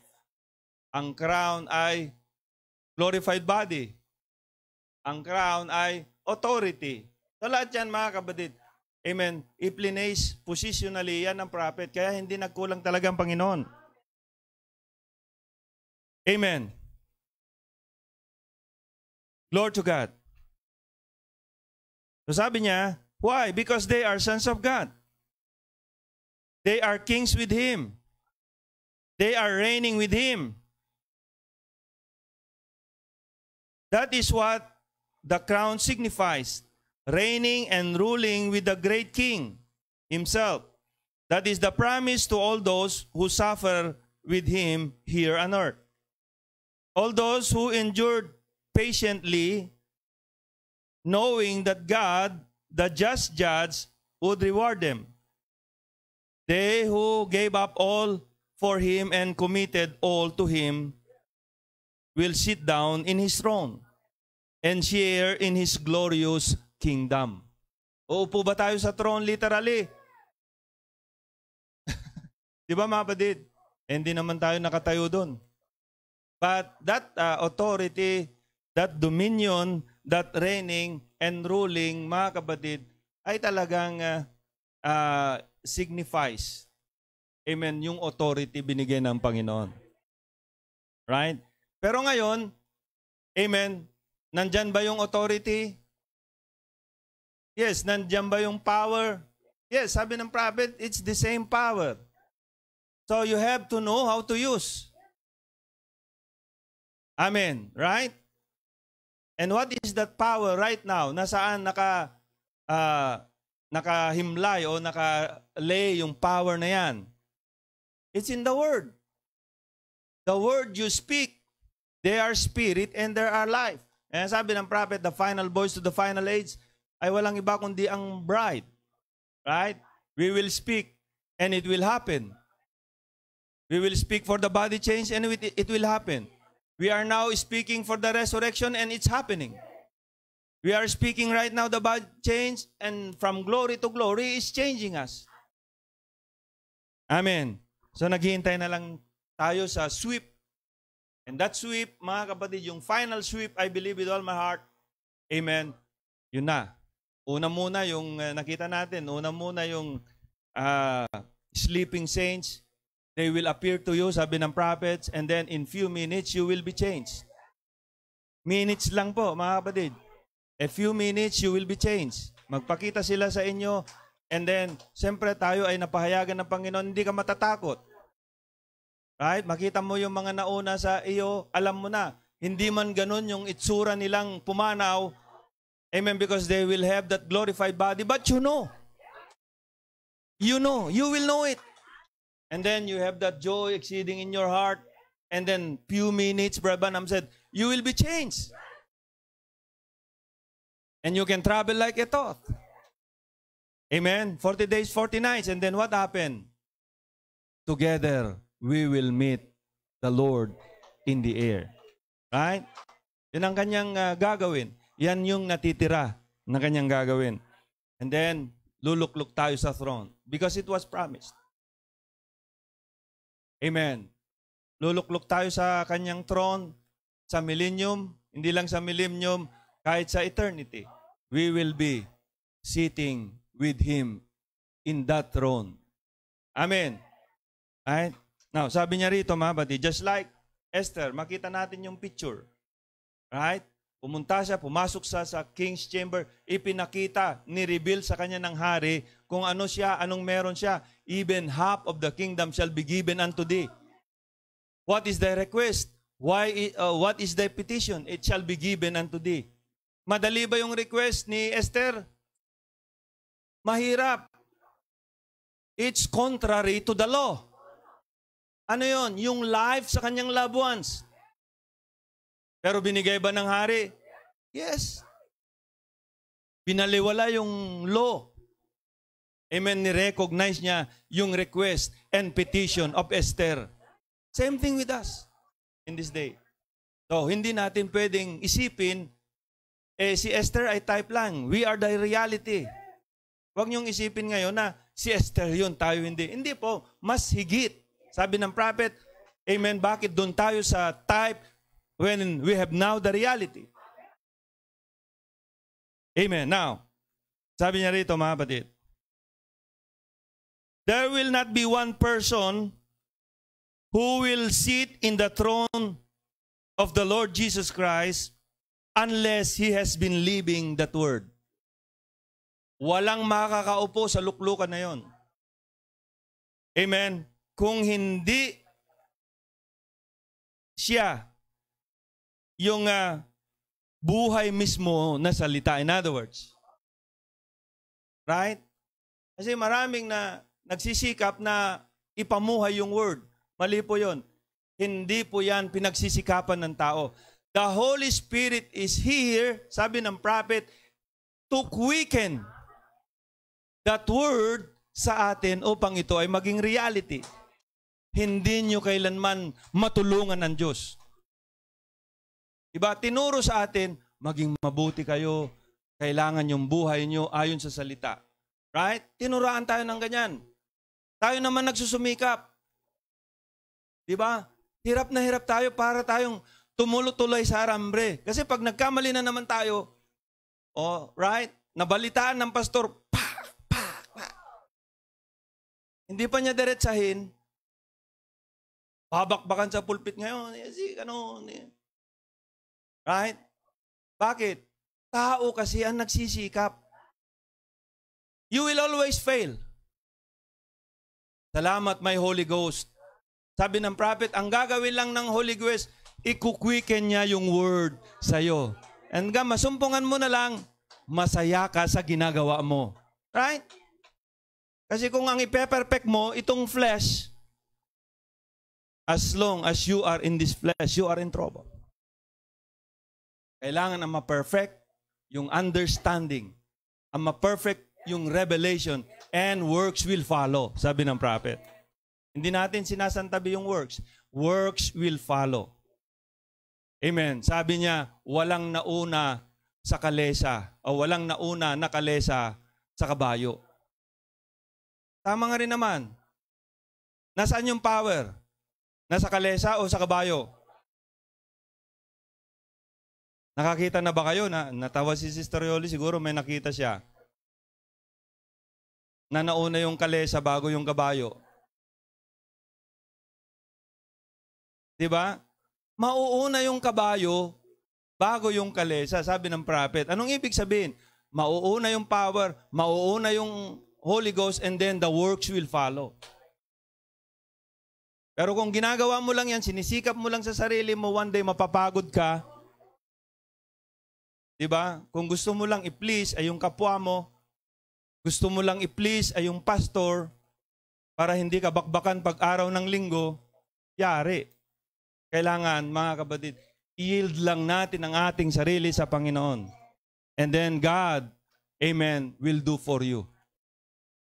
Noon, maiksi ang pasensya mo, mamamalayan mo na lang. Mahaba ng pasensya mo. It's the Lord working. It's the Holy Spirit working in us. Noon, hindi natin maintindihan, hindi natin maunawaan. Just leave it to the Lord. Lord, hindi ko nakuha yung uh, pagpapahayag kanina. Help me, Lord. And then the Lord will do it. Kung bride ka, at yung bride, yun ang kanyang ipipray talaga sa Panginoon. Pero kung hindi bride, hindi naman uh, siya magkaroon ng interest to begin with. So ang papanalangin na lang niya, Lord, pagpalain mo ako. Amen. Lord, ang matindi doon, Lord, uh, patamain mo ako sa loto.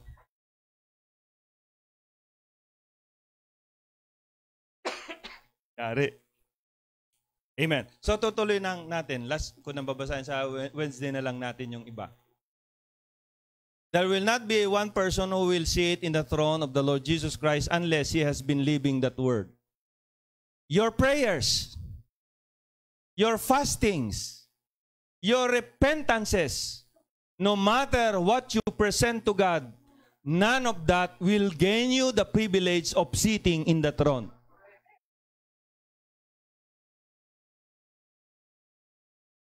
Your prayers, ulitin ko po, yung panalangin mo, yung fasting mo, yung pagsisisi mo, o anumang bagay na pwede mong ipresenta sa Diyos, hindi iyon ang dahilan upang magkaroon ka ng pagkakataon na umupo sa luklukan.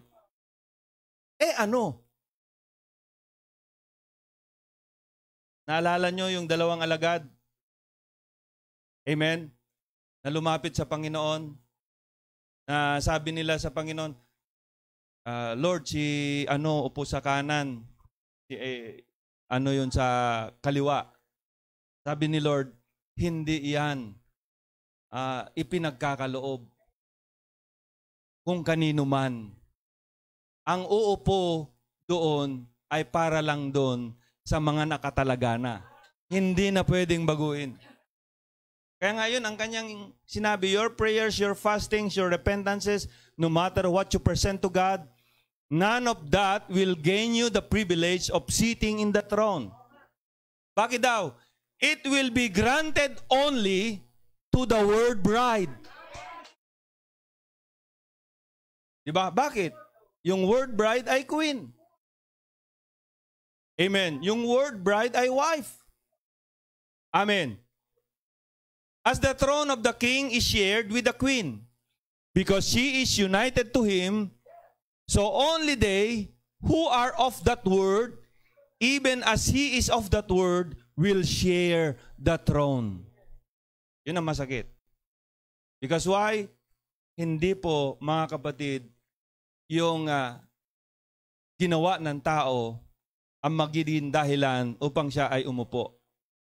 Right? Eh, diretsahan na. Sabi ng prophet, ang uupo dun sa luklukan na yan, ay para lang sa word bride. Eh sino ba yung word bride? Sabi ng prophet kanina, yun yung queen of heavens. Amen. Lalo ngayon na siya ay united. Right? Kaya unang bugso ng uh, manifestation ng reigning ay doon sa millennium.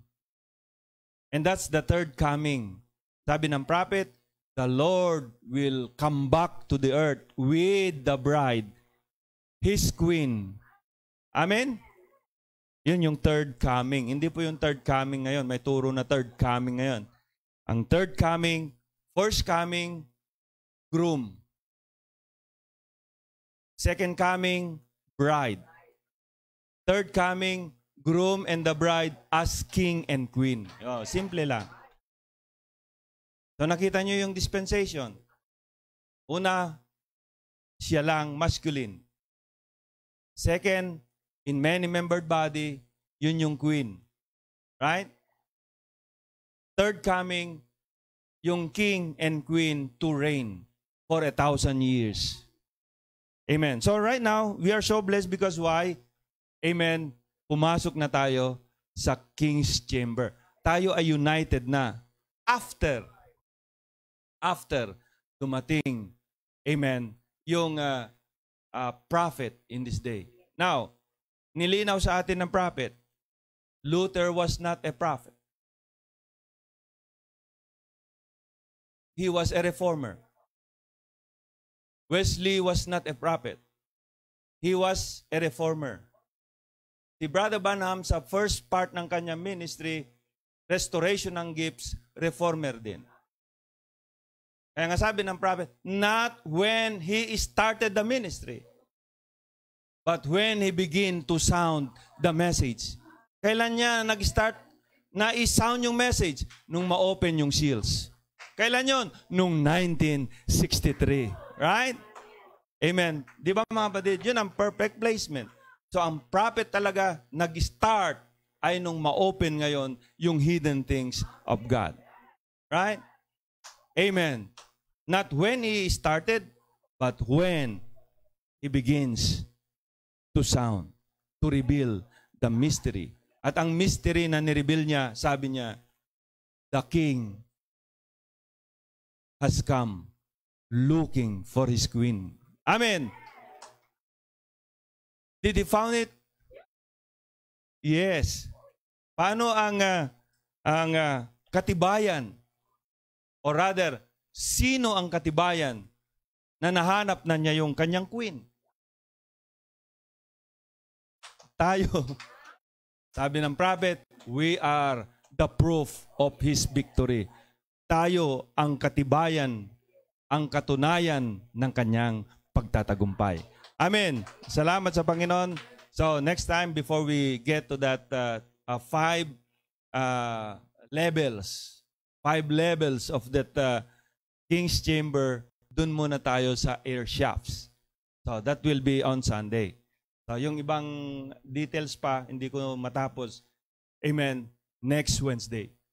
About dito sa King and Queen na united now. Amen. And uh, ready. Amen. Na lumisan. So when I say united, wag nyo pong gawing literal kasi it's invisible union of the heavenly groom and the bride. So merong literal na uniting. Ang literal na uniting is when we meet Him in the air. So spiritually, uh, because why? Nakita natin kanina, yung spirit, nag-unite kay Christ, yung spirit na uh, nag-unite kay Christ, yun din yung spirit na nag-unite sa atin to begin with. Right? So, uh, salamat sa Panginoon sa kanyang hiyaya. So, merong ano yon, merong five. And then, uh, yung uh, airsoft niya dito ay kay Orion. Orion's belt. Dito naman ay uh, kay Draco. Bakit nagkaganon? We will see. Right? Si Draco. Ba't nandun si Draco? Especially, specifically, doon kay Tuban. Tuban. And Tuban is the brightest star doon sa Draco the Dragon. Bakit nandun? Right? Bakit may air shafts sa doon? naka-point. So we will find out this coming Sunday. So I will give it to Brother Joel, to Brother Eric. God bless you, Brother Eric.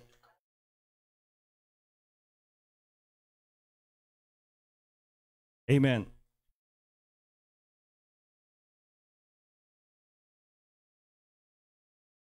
Praise the Lord.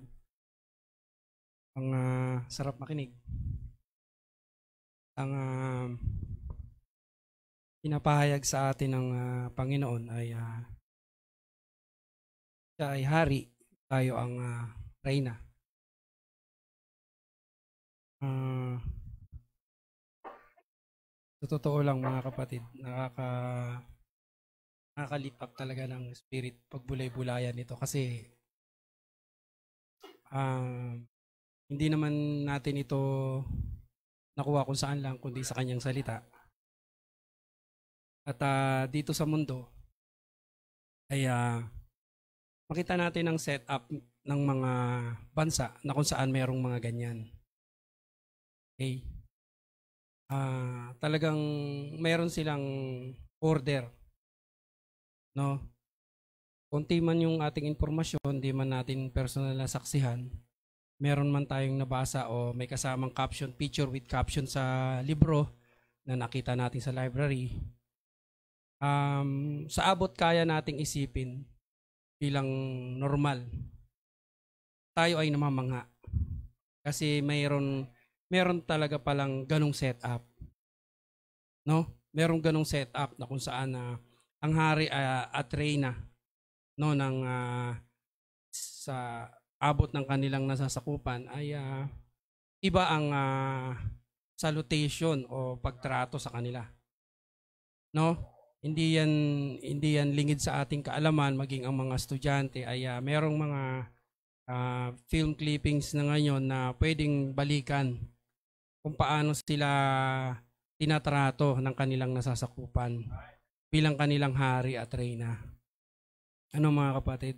At habang uh, na personal kong napagbubulay-bulayan kasi yan ang pagpapahayag ng Panginoon, uh, hindi man ako nagkaroon ng uh, tayo, no? Nagkaroon ng ganun karanasan bilang mga pamilya ng tinatawag sa mundo na ito na royal blood. Eh, sa katotohanan, higit pa sa history, tayo naman ay royal seed. No?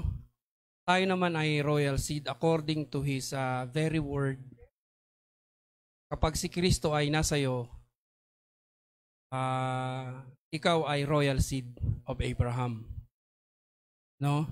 At uh, hindi rin hindi rin ito basta-basta lang na pagpapahayag ng Panginoon na kung merong hari, merong reyna.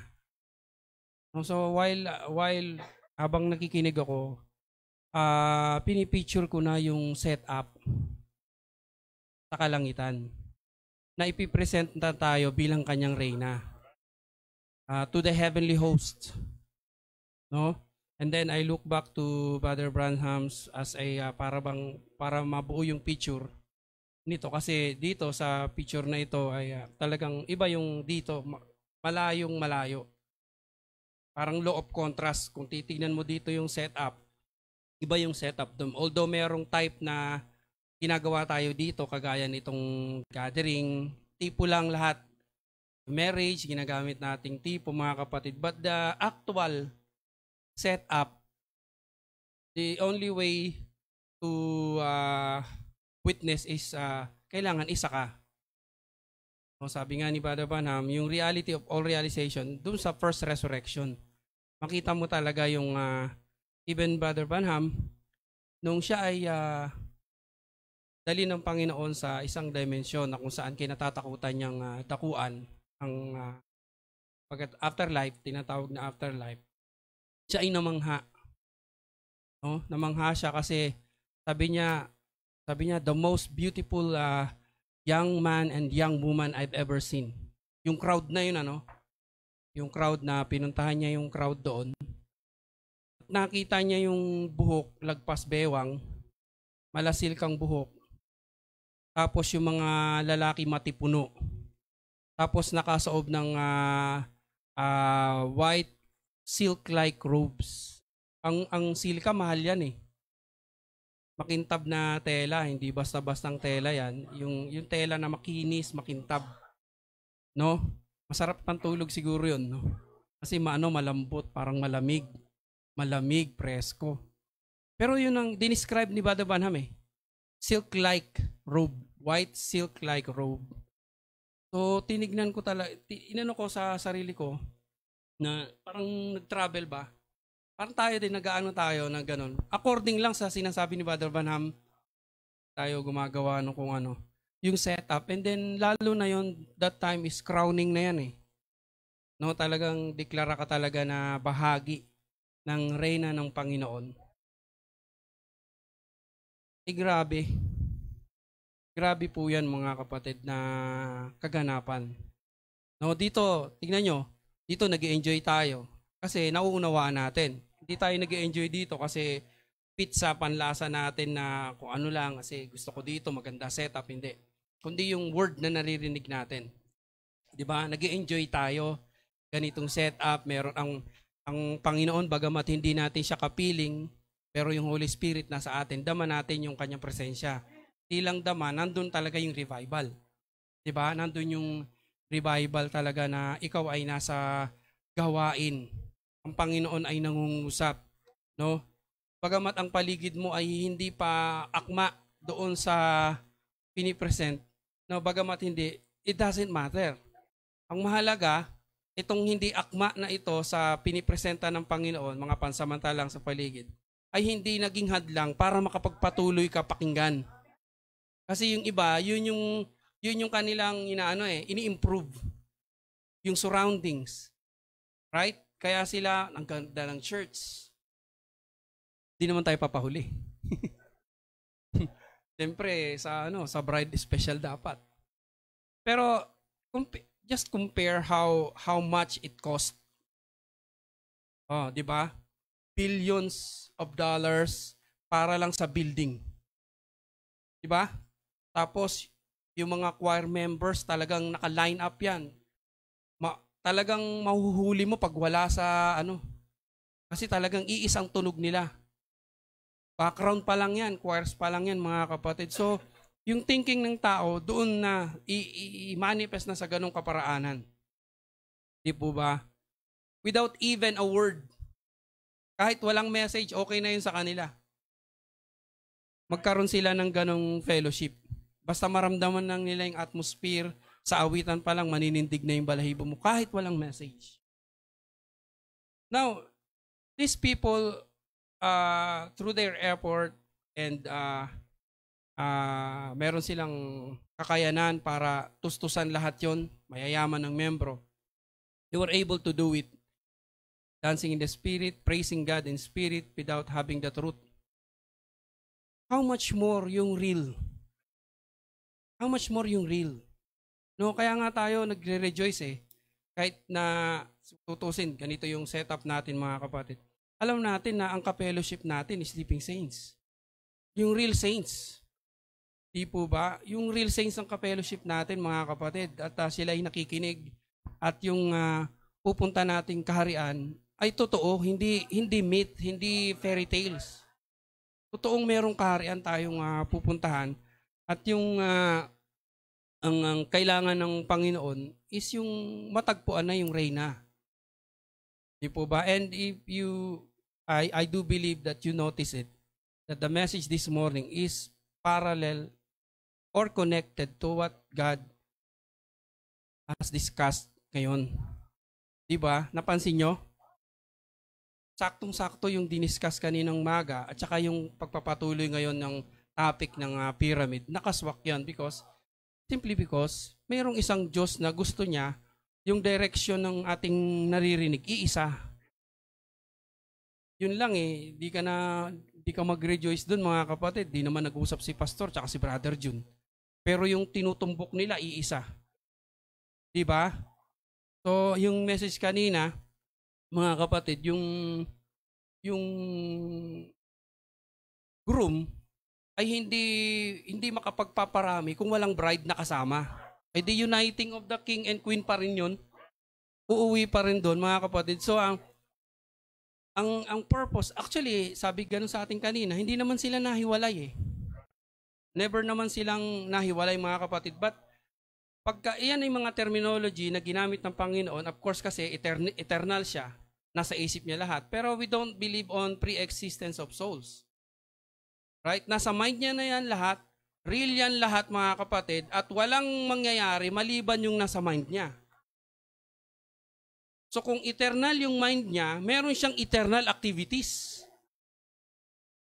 Di ba? At lahat yun, eternal activities, real. And these are just part. Great plan of redemption, great, great, great drama na ito na ginampanan natin. Bahagi lang to kasi wala pa, hindi pa talaga natin ginagampanan.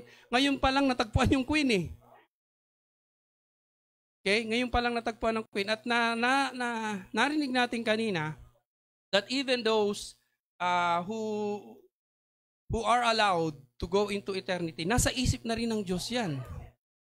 Of course, pagdating sa covenant, alam natin ng, uh, ng uh, kalagayan ng bride at ng other covenants. Di po ba? But all in all, lahat yan ay nasa Diyos na. Lahat ng mga predestinado. No, and speaking about predestinated na in-emphasize ni Brother Branham sa Christ is this is the mystery of God revealed. Sinabi niya, that's the mystery predestinated. At uh, kanina diniin sa atin na ang predestinado ay hindi lamang uh, hindi lamang maniwala ka, kundi act, umakto ka. Ganon din yung uh, binalik sa atin ni Pastor kanina na hindi lamang coming out but also going in. Laging ano yung both. Vice versa yan, merong ginagawa. So ibig sabihin mga kapatid, hindi mo po pwedeng ikatwiran, ah, predestinado naman yan, okay lang kahit hindi. Ang predestination, may manifestation. Di po ba? Sabihin mo, eh bakit sinasabi nyo? Bakit nababanggit dito? Maaring sabihin natin, no? Ba't nababanggit dito? Eh yung mga, unang-una na, wag na natin lalayo. Yung mga loved ones, di man nagpupunta sa church. Diba? It is not the person that's being predestinated. It's the seed. Yung word na natanggap natin. Sinabi ng prophet din yan, may katugmayan, hindi ka mawawala dyan, hindi ka maliligaw dyan. Dahil sinabi ng prophet, darating yung time para mag-drop sila dun sa word na in-speak ng Diyos. Ibig sabihin, may manifestation pa rin. Oh, who are you to question how long and how short will it be? Wala. Mahalaga, nag-manifest.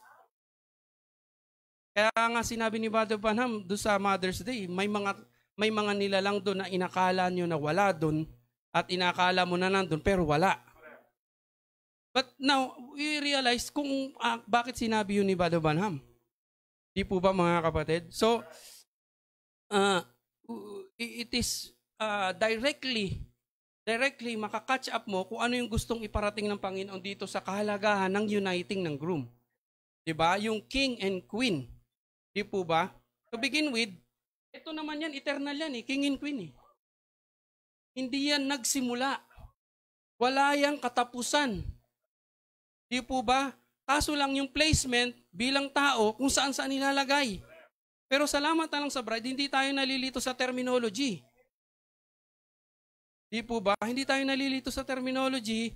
Kaya natin gamitin, kaya natin i-place yan. Queen tayo ngayon, of course.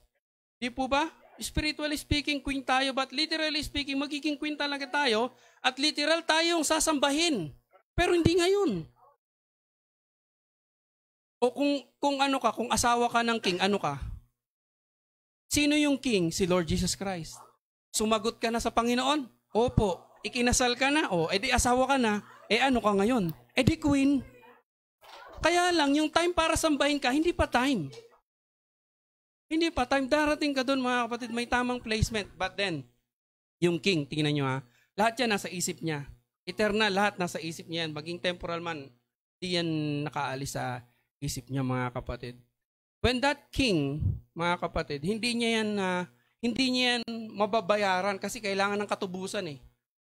Kung nandun siya sa uh, uh, Jehovah na kalagayan, hindi niya yan mababayaran. Kailangan maging flesh yung king. Kasi yung mga tutubusin niya, nasa flesh. Kailangan siya maging kinsman.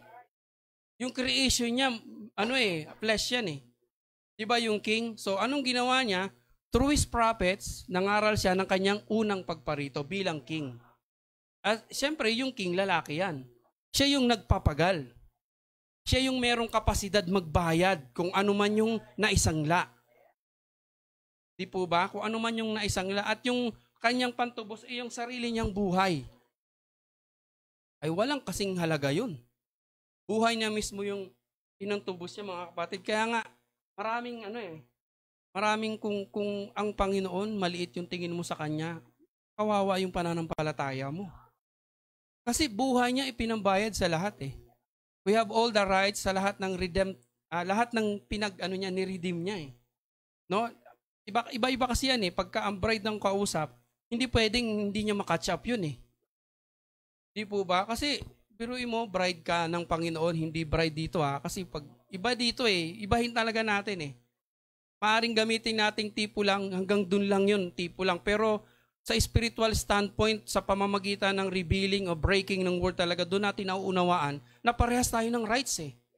Nandun yung na-establish yung co-equality.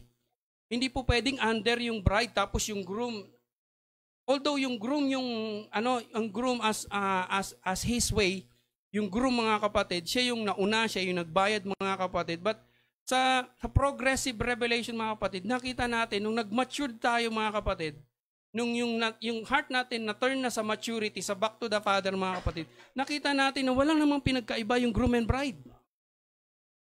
Diba? Although magkaiba sila ng dispensation, feminine, feminine, masculine siya mga kapatid, pero hindi mo sila pwedeng paghiwalayin. Kung ano yung minanifest ng groom, imamanifest din ng bride. O isa lang doon, yung isa, groom, lalaki, yung lalaki, one member body. Yung, yung feminine, many membered body yan. Specific yan sa bride yan, sa elected lady. Hindi yan sa other covenants, mga kapatid. Pero, hindi sila, inano, sa, sa, sa ages, eto binigay, eto binigay, eto binigay. Pero pagdating sa, pagdating sa ating time, fullness, dito lang tinawag ulit sanukman. Di ba? 2,000 years ago, Son of Man, the Son of Man. And then again, dito lang tinawag Son of Man. In between, Son of God siya. No, kasi there, there's, uh, it's the same God, pero ibang iba yung kinikwikin niya during that time eh.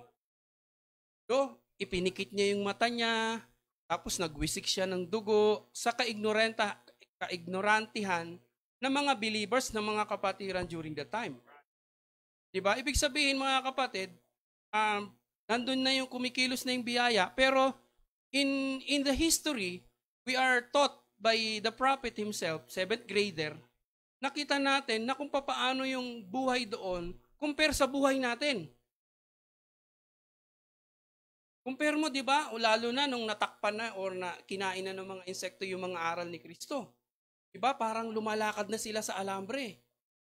Son of, Son of God ministry, kailangan niyang mamagitan sa kaignorantihan. Kung hindi, mapapahamak sila. Di po ba mga kapatid? May, may, may kalakip na law. Hindi pa puro mga kapatid. Pero nung na nakumpleto ulit yung word, na restore yung word, tapos yung uh, the very the very life of Christ bumaba. Di po ba mga kapatid? At uh, ang iniwan niya lang doon yung corporal body niya. Kasi inakyat niya yun, nakita natin sa Acts chapter 1 eh. Physically. Diba yung glorified body niya, inakyat niya, itinanggap siya ng alapaap. Yun lang yung iniwan niya. Pero yung Holy Spirit, the essence or uh, yung God mismo, diba, yung God mismo na nanahan sa glorified body na yun mga kapatid, ay bumaba in its fullness. Sabi ng prophet, the entire Holy Spirit visit the church, visited the church, making the God in flesh again. Di po ba mga kapatid? Ngayon, nung bumaba sa mga kapatid, sanok man ulit kasi fullness. Fullness. Fullness. Hindi yung laman yung son of man, but the God that is in the man. Di ba mga kapatid? Kaya nga, son of man, word made flesh. Di po ba? Hindi mo po pwedeng tawaging son of man kung unseen, unseen force. Masasabi mo lang siyang uh, son of man mga kapatid kung maki- mayroon siyang laman na pinananahanan. Kahit pa yan ay temporal. Kasi hindi naman yung body yung tinawag na son of man, kundi yung nasa loob. Gusto mong makita yung nasa loob? Uhusgahan ka ng nasa loob. Hintayin mo magsalita. O, base dun sa narinig mo, kapag yan ay tinanggihan mo, sabing gano'n ni Badaban, I challenge you to believe na ang Son of Man ay na-reveal uli sa pamamagitan ng bride sa huling panahon na ito. Di po ba? Ngayon, may, may ano, merong kung ano-ano na lang side yung nakikita. Son of man as masculine. Son of man as, hindi ko maintindihan kung saan pinagkukuha eh. Salamat na lang at di natin maintindihan yun. Ang naiintindihan natin kung ano pinapahayag ng Panginoon. Kasi hindi naman sa atin ni-require intindihin yun eh.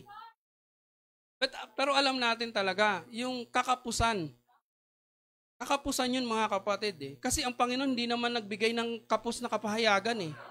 At alam lang ng Panginoon kung sinong pagbibigyan niya. Kaya yung nag-aangkin, kakapusin talaga. Kung saan saan yung placement. May son of man na masculine dispensation, although in, ano rin? In believer's form din. Hindi po masculine yan, feminine talaga eh.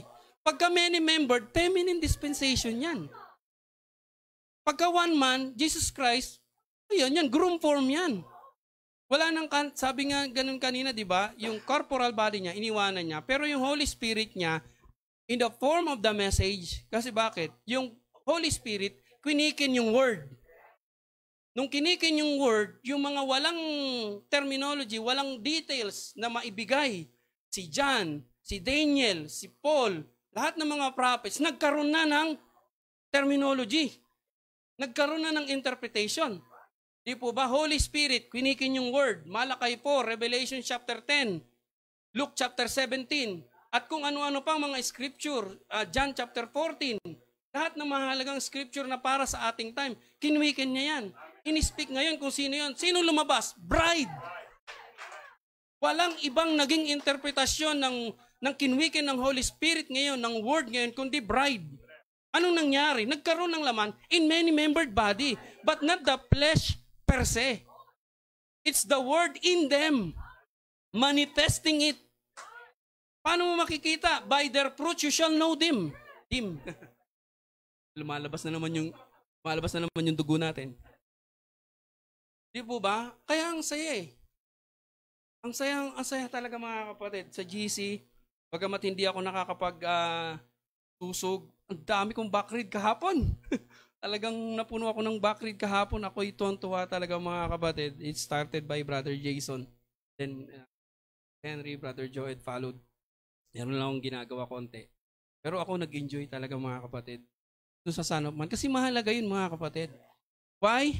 Because we are, we are all aware that even in these so-called end-time churches, naiwan sa Son of God. Yung iba naman, sumobra sa Son of Man. Laging ganun. Son of David. Yung iba naman, iba yung interpretasyon ng Son of Man. Masculine na. Hindi po. Ang Son of Man is united King and Queen the perfection of the Son of Man. Kasi na-express na yung buo. Dati nung nandito siya, nakatago pa tayo eh. Yung Son of Man, feminine mga kapatid, nakatago pa. Pero ngayon, nung bumaba siya, nakipag-unite siya, express na. Hindi ka man matawag na bride kung walang king na nag-alok sa'yo, I love you. Hindi naman kasi yung queen na nagsasabing, My king, my king, where, out, where art thou? Hindi. Ang naghanap yung king. And He found us. Di po ba? Nakita niya tayo, ang pinanghanap niya sa atin is yung love letter na ito. Nakarating kung sino-sinong recipient, kung sino-sinong hindi tunay na recipient na hawakan ito, iba yung interpretasyon. Pero nung ikaw yung ano, ito na yung love letter ng husband ko. Sabi ng katabi mo, ang corny mo naman. Paiyak-iyak ka pa. Pasayaw-sayo ka pa. Wala naman akong maintindihan kasi hindi ito para sa'yo. Tuwang-tuwa ka, wala naman akong, wala naman pagkakaiba dyan. Diba? Kung, kung kukumpara nga kayo, wala. Wala kayo, wala kayo kay ano, tsaka kay ano. Tsaka kila ano. Grabe yung membro nila. Grabe yung ministry nila. Choir pa lang, kikilabutan ka na. Oh. Eh, kilabutan sila sa darating. Oo. Yun ang nakakakilabot. Yung darating. Sabing ganun kanina, nabanggit, ano, kung kailan payapa sa tingin ng tao, dun darating yung kagilagilalas na kapigitan. Di po ba mga kapatid? So, mahalaga na dumating na dito, and this is our day. Nagkaroon ng uniting. Bakit? Nung dumating siya dito as king, mga kapatid, he paid the price. Right? Ang claiming ay hindi sa millennium, hindi sa 40 days, 40 nights. Ang claiming ay ngayon. At walang ibang pwedeng mag-claim maliban sa queen. Kasi nasa kanya yung pangalan eh. Hindi pwedeng mag-claim kung sino-sino. There is only one Mrs. Jesus Christ. Yung queen lang ang pwedeng mag-claim. Ang sabi kanina sa atin sa pangangaral, hindi makapagpaparami ang Diyos, masculine, feminine, kung sila ay magkahiwalay. Kaya never silang nahiwalay to begin with. Ang kanilang paraan ng pagpaparami, referring back to who are they that is in their mind. Plural ah, sinasambik ko. Plural because feminine and masculine. Kailangan mag-asawa para dumami. May binanggit pa si Pastor Children, tumpak. Bearing children. Hindi naman literal yan ng mga anak eh. Yan ay womb womb, thought of God, eternal thought of God, kailangan ma-express. Di po ba mga kapatid? Kailan ba yon? pagdating sa white throne judgment, magkikreate tayo ng uh, nasa isip natin. Di, dito natin lahat makasagupay ang mga yan. Di po ba imparting? Binanggit na kanina yung mga susi, imparting life. So mahalaga itong uniting ng king and queen. Kung walang pang uniting ng king and queen, walang ma-establish na kingdom eh. Para saan ang king and queen? Of course, pwede silang mauna. Pwede silang mauna. Sila naman talaga yung una eh. Sila naman talaga yung pasimuno nitong lahat eh. So we're speaking about God, the creator, the creator. Oh. Kaya kapag ka umano tayo when we say God the creator, hindi lang ganito ngayon. Magkasama. Mabigat? Mabigat para sa iba. Teka muna, mabigat yan. Lalo na sa theologian. Hilo dyan ang theologian. Saan mo pinagkukuha yung pinagsasabi mo? Di ba? Sabihin sa'yo, give me proof. I cannot. Because hindi ko to kayang explain. Kahit explain ko to, kahit magbabalentong-balentong ka dyan, maliban may bini ka dyan, hindi mo to paniniwalaan. Di po ba, mga kapatid? Talagang sinigurado ng Panginoon yung mga elect lang yung makakatanggap nito mga kapatid. Napakahalaga. King and Queen. Kaya nga nakikita ko yung preview eh. I, I don't want to use the word imagine kasi it's not enough eh. I'm traveling like a thought. I'm traveling in that dimension no na kung saan kakaiba dito lahat ng wala dito iniisip ko doon imposible Just like this, this is literal gathering, right? Dito, nagsasalita si pastor, lahat tayo nakafocus. Meron tayong great anticipation. Di ba? Meron tayong great anticipation. Yes, of course, nandito pa tayo. Meron pa tayong uh, spirit na kayang i-access ni Satan. Meron tayong flesh na merong kumikirot-kirot sa gilid, sa kasukasuan, etc. Pero hindi naman yung kinokontak ng Diyos. Ang kinokontak ng Diyos, yung galing sa kanya na seed. Okay, so, uh, leaving that two, ano, two realms alone, and stay on that who you really are, staying on that. Kasi nandito tayo eh. 'Di ba? Di mo na kasi ganun talaga eh. Pwede itong pasukin, pwedeng magugulat ka na kung ano-ano yung pumapasok sa isip mo. Ang ganda-ganda ng preaching eh. Na-experience nyo ba yon? Kung ano yung pumapasok na wala namang kwentang bagay. Gusto kang abalahin. Yung, yung tinda ko, napanis na yata eh. Yung ano ko, baka, yung, yung ginagawa ko, hindi pa tapos ah. Napupunta doon yung attention mo, yung mga kapatid eh. Di ba si Satanas, ayaw ano, gusto ka abalahin.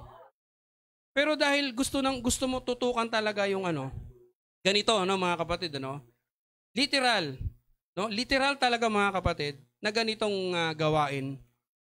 Tapos ilagay mo doon sa perpektong kalagayan. No? Sabi nga ni Nubado Banham, nakita niya the most beautiful throng. Throng is gathering. Crowds. Handsome man. The most handsome, the most beautiful woman I've ever seen. Right? Nakasuot sila ng robe Walang bata, sabing ganun niya, nilagdagay siya ng age ng 18 to 21. Something like that. But Brother Branham uh, clearly explained it that hindi yung picture mo ng 1821, but it's in the gallery of God. So it's more perfect or it's beyond those pictures na nakita mo na iniisip mo na ganito, yes, tamat naman na hindi na ako pango doon. Ganun naman ako. Bumawi. Di ba? Napunta sa ilong. So ganito mga kapatid, yung totoo, yung totoo lang mga kapatid, yung kaibahan ng realidad nito any moment from now. Any moment from now. Bakit? Yung king and queen, nag-unite na yan eh. Ang tawag dito, bride age. Bride age, eh kala ko ba may uniting? Yes, bride age nga eh. Araw ito ng bride. Di ba sabi kanina ni Brother Jun, sa kasal, lahat ng leeg nakapihit sa bride pagpasok. Kasi kaya bride age ito eh. This is our day. Di ba? Pati yung mga sleeping saints, happy day nila ito. Bride age eh. Panahon din nila, panahon natin eh. Di po ba mga kapatid? May mga ministry tayo, may mga ministry tayo na ipinamumuhay natin. Hindi natin, Pastor, ano bang gagawin ko? Pumunta ka doon tapos uh, magpatulong ka, magpatula ka, sadyain mong iplat yung gulong mo, magpatulat ka. Hindi. It's a life that we live. Yun yung ipinaglilingkod natin sa Panginoon. Yung mga, yun yung mga nakasulat doon. Doon nakabas, nakabase. Di po ba mga kapatid? Mahalaga ba yan? Mahalaga yan. Hindi lang pag sinabi ng Panginoon, sinabi ng, sinabi ng prophet, life is a sacred thing to God. Hindi lang yung nakapertain sa life ng bride. Yes, mahalaga. Mahalaga yung life ng bride kasi siya nga yung mag-impart eh. But it speaks about all na papasok sa eternity. Saan sila? At paano sila papasok? Because of the uniting of the king and queen. Wala naman ano to eh. Wala naman yung queen authority kung hindi ibigay ng king eh.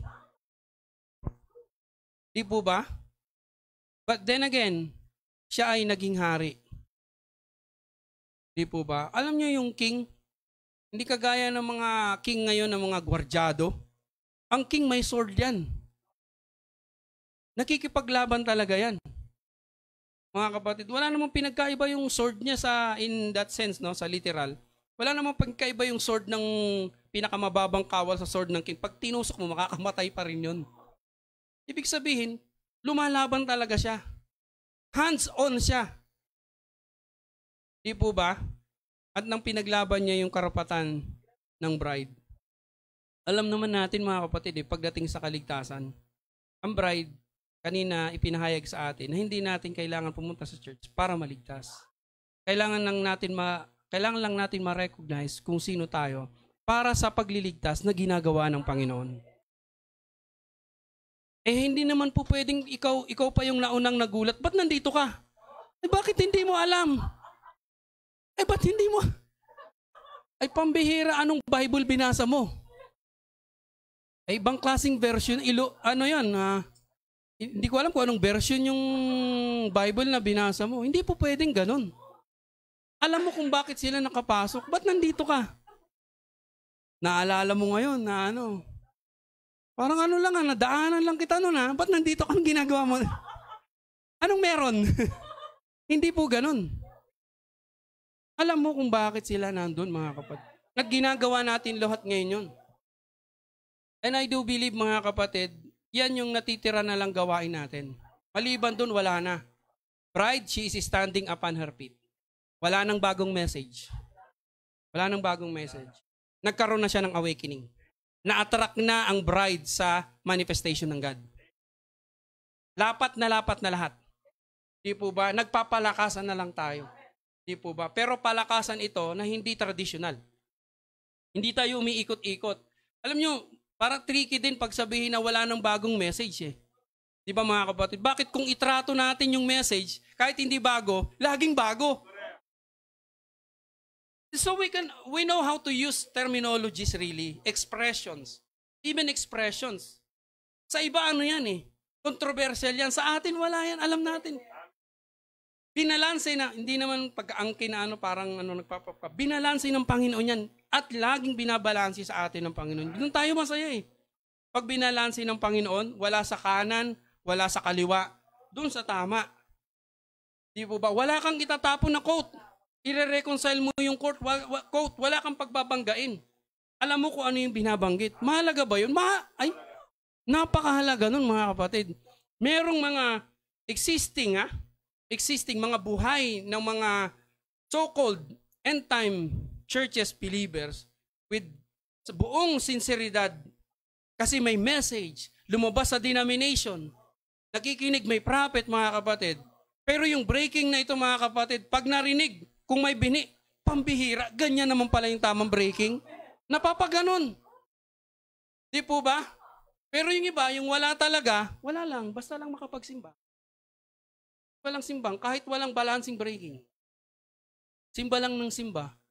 Oh, tapos tanungin mo, hindi mo naman hindi mo pwedeng kumbinsin na lumipat ka na, umalis ka na. Basta mahalaga, narinig niya yung word. 'Di ba? Hindi mo pwedeng sisihin ng Panginoon sa huli. 'Di ba? Kaya ang Panginoon obligado mag-anoint. ng minister na i-preach mo yung word na to. Kailangan nito, kailangan nito, kailangan nito. Kung anong gawin niya dyan, doon magkakaalaman. Doon lalabas yung kulay niya. Di po ba mga kapatid? So we're, we're really blessed dito sa munting iglesia na ito where eh, ito na naman, may inannounce na naman na uh, gawain sa tree. Di ba masaya na naman yon? No? Doon tayo doon tayo dadako sa kung saan ang, ang agila ay kumpleto na ang kanyang mga pakpak.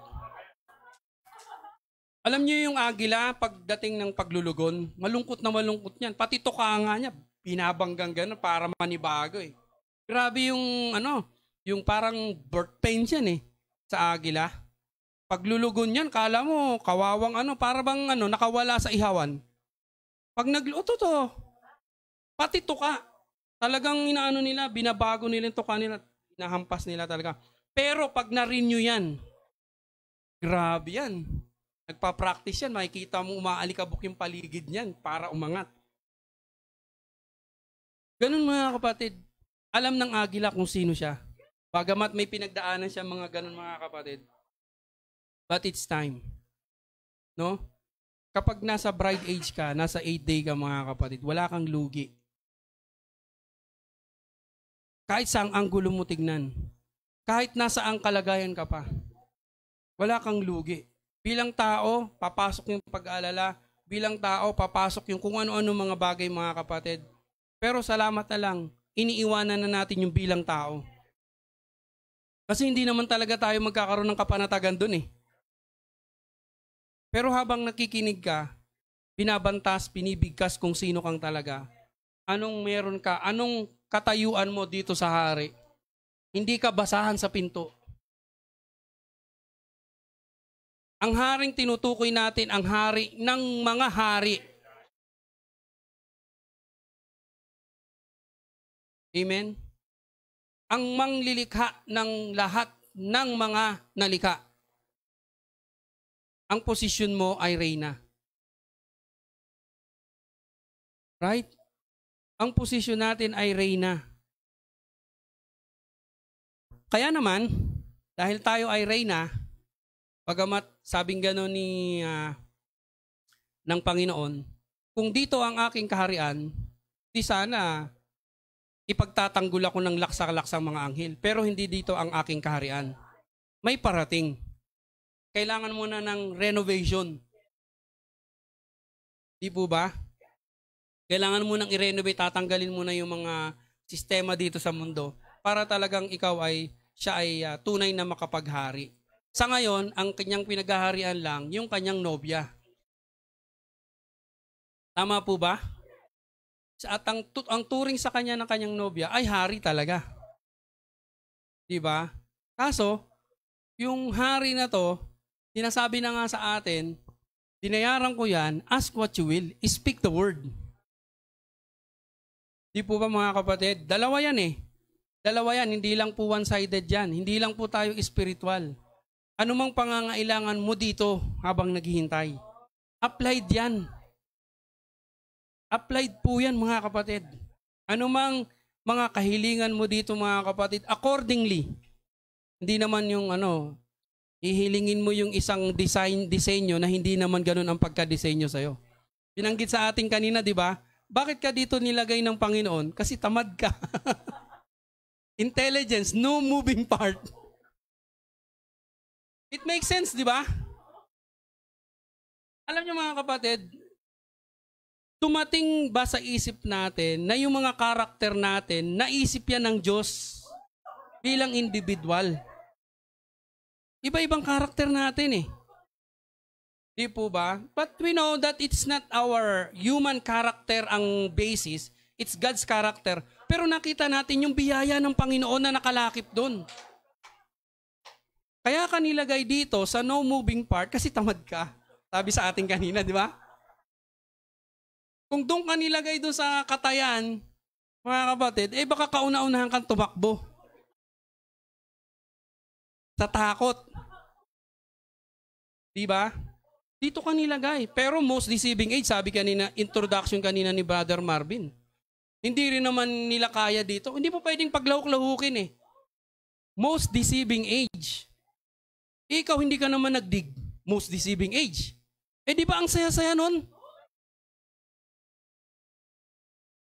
Hindi, hindi pala ang saya-saya, kulang. Grabing kagalakang hatid. Tingnan niyo mga kapatid. Hindi naman mahirap intindihin. Pag sinabing pinakamapandayang panahon. Okay? Totoo yun. Sabi ng prophet, gahibla. Sinabi ng prophet yan. Gahibla lang ang diferensya. Di po ba? Ay, hindi ka naman nagdidig. Oh. Di ba? Ako, hindi naman ako nagdidig. Nakikinig lang ako. Nakikinig lang ako. To begin with, hindi ko naman hindi ko naman intention na maghanap eh. Hindi ko intention maghanap na hindi ko nga alam na most deceiving age ngayon eh. Come what may lang. Come what way lang. Pero nung marinig ko yung word, kakaiba dito sa ano, parang may nagri-ring. Kailangan ko sagutin to. Kasi walang nakakarinig na iba eh. Parang may nagri-ring. Nung sagutin mo ngayon, lahat, naririnig mo lahat. Nagring ulit. Dampot ulit. Dampot ulit. Wala ka namang gagawin, dadamputin mo na lang eh. Kasi parehas kayo ng network. Wala kang iintindihing charges. Hindi ito prepaid. Postpaid. Ito, bayad na to. Bayad na eh. Unlimited call ito, hindi choppy. Walang static, walang noise. Ang linaw-linaw. Makikinig ka lang. Hindi. Ay, thank you Lord. Most deceiving age ngayon. Pero ang linaw-linaw oh. Paano ako madadaya? And yet, it, you're living in the most deceiving age. Nagdig ka ba? Wala. Sincero, hindi umabot. Kasinsiruhan, yung lapses, ang dami. Ang daming lapses. Weakness sa laman, meron. Hindi mawawala yan. Problema, ang dami. History, lalo na, sirang-sira. Di ba mga kapatid, kung ano ka, kung uh, sa criteria, una pa lang, cross ka na. Sa checklist, cross ka agad. Dapat check, di ba? Ikaw cross ka agad. Nasa bungad ka pa lang ng pinto. Oy, huwag ka tutuloy. Pero nung marinig mo yung word, di ba? Lalo na ngayon.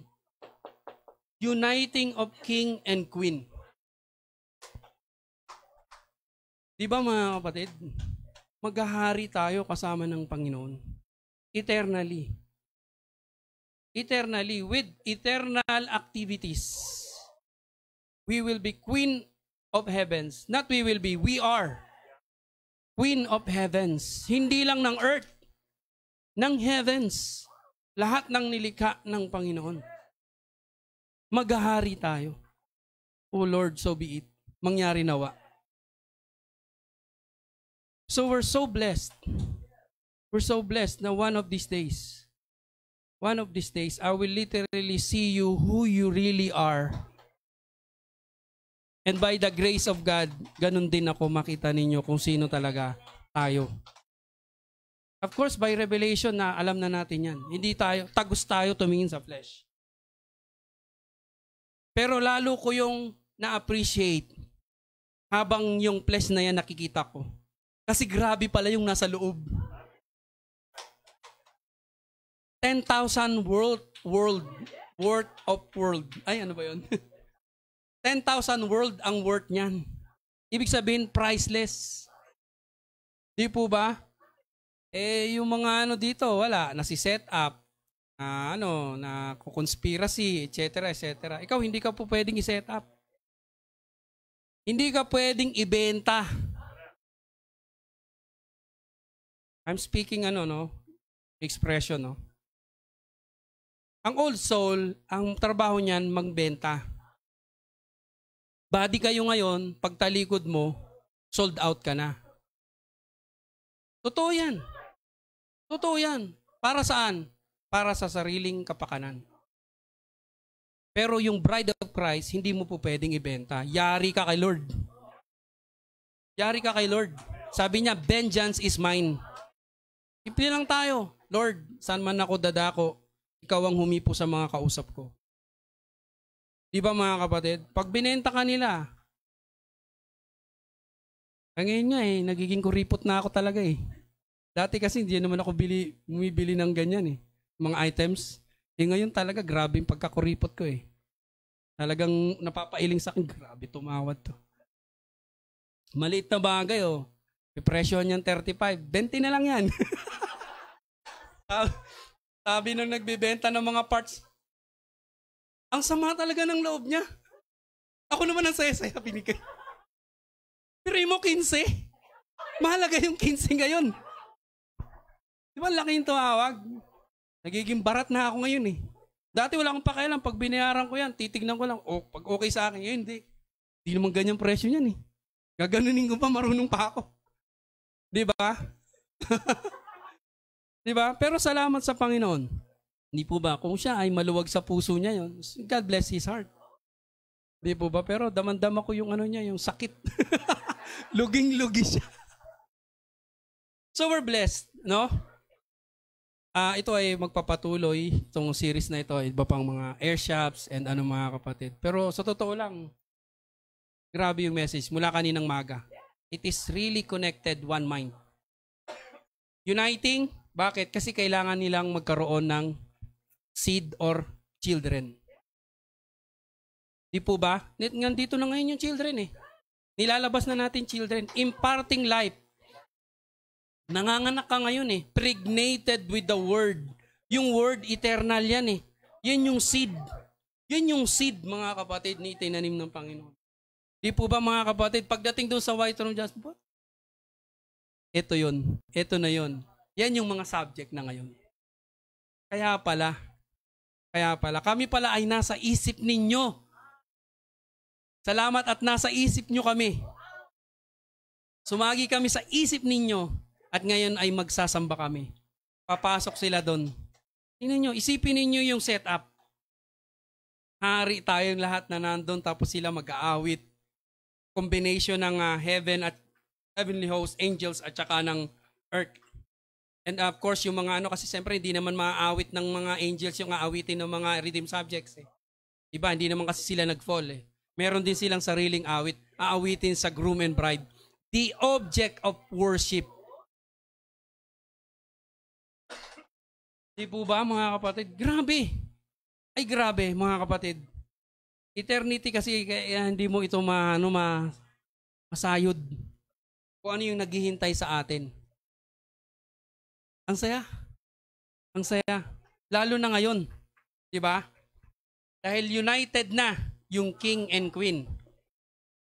United na. She knows who she is. Konti na lang matatapos na yung trabaho niya. Konti na lang matatapos na yung trabaho natin. Konting-konti na lang matatapos na yung trabaho natin. Napaka-konti na lang yan. Hindi dahil tinitignan natin yung mga, uh, of course kasama yon yung mga events sa ating paligid. Higit sa lahat kung paano ang pagpapahayag ng Panginoon. The way God is speaking to us right now. Di po ba mga kapatid? The way He speaks to us. Yung mga terminology niya, yung mga binibitawan niya mga kapatid. Di po ba? Iba itong ating panahon. Ito ay sapat para magbigay sa atin ng kagalakan. Oh, hallelujah.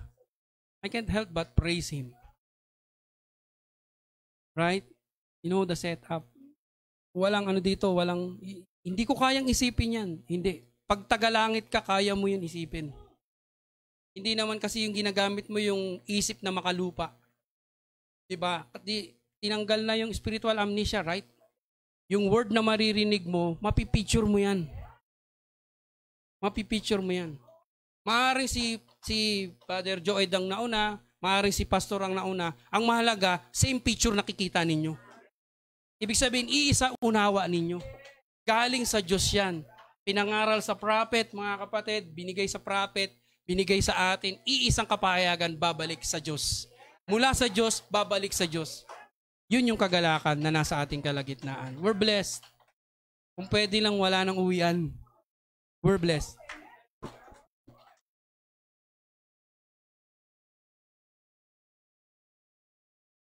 Salamat sa Panginoon. Amen. At uh, napaganda yung nabanggit ni Brother Eric. Kahit ito yung most deceiving age, ang bride ay hindi na madadaya dahil uh, nag-reveal ang Panginoon sa kanya at uh, hindi lang nag-reveal, in-equip ang bride ng uh, malinaw na pagkaunawa. Di ba mga kapatid? Kaya alam na natin kung yan ay sa Panginoon ba o hindi. Just like yung tinutukoy nga ni Brother Eric kanina, yung isang pastor, ang sabi niya ang bride ay hanggang 1963 lang. Ngayon ay wala ng bride. Ang meron ngayon ay son of man, si Christ. Tama rin yon pero hindi natin pwedeng ihiwalay yung bride. ba? Kasi paano maging bride age sa ating time kung walang bride? 'Di ba? So na-place din natin yung mga termino, may kanya-kanya, may hanggang bride lang, ayaw nilang tanggapin yung wife, ayaw nilang tanggapin yung queen. Napakarami dito sa end time. Di ba mga badid? At mayroong sa natural, meron ding ipinapakita ang uh, ating Panginoon in closing. Right? Meron bang monarch na ngayon na nagro-rule na queen sa ating time? Meron ba?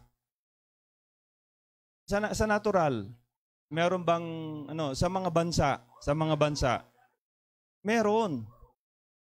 Si, si Queen Elizabeth, queen, pinakamahabang nag-rule na reyna. From 1952, if I'm not mistaken, alam ng mga bata yan, mga nag-aaral, 1952 hanggang sa presenteng panahon. Oh, reyna sila hindi lang sa England. 16 states. At tawag doon Commonwealth. Reyna siya sa Canada, reyna siya sa New Zealand, Reyna siya sa Australia. Oh, napakarami. 16 states yan. Siya yung reyna. 69 years. Di ba mga badid? Kasi tama-tama din. Ito ay time ng queen. Time ng bride. Bride age. Queen age. Bahala kayo kung ano yung gagamitin nyo because it's the same. At nakita rin yan ng prophet. 'Di ba sa preview of the bride? O unang dumaan yung Asian bride o Asian church. Nagrib ang prophet. Ayaw niyang tignan. Sumunod yung European church. Nako, grib na grib ang prophet, hindi yan ang bride. Basahin nyo. I believe in the message rapture. Sumunod, American American church. Nako, lalong nagrib ang prophet. Yan ba ang bride? Ayaw ko na, Lord. And then, may tumugtog. Basahin nyo. May tumugtog. Anong tugtog? Onward Christian soldier. Tumugtog. Wow! Napawaw ang prophet. Ito pala ang tunay na bride. Amen tayo yon. Ang ganda ng lakad. Kaya may tatlo, lumilihis. Sinigawan ng prophet. Stay on the line. Amen. Kaya dito talaga sa dulo, lilitaw yung tunay na bride. Dito sa dulo, magmamarcha ang bride. Saan ang kanilang direksyon? Basahin niyo yon. Ano, sa bahay-bahay niyo. Going up. Ang marching nila ay going up. Oh, praise the Lord. Salamat. Kaya hindi talaga mawala yung kagalakan sa ating mga puso. Because why? We are one of them. Paawi, one of them, one of them. I'm so glad that I can say I'm one of them.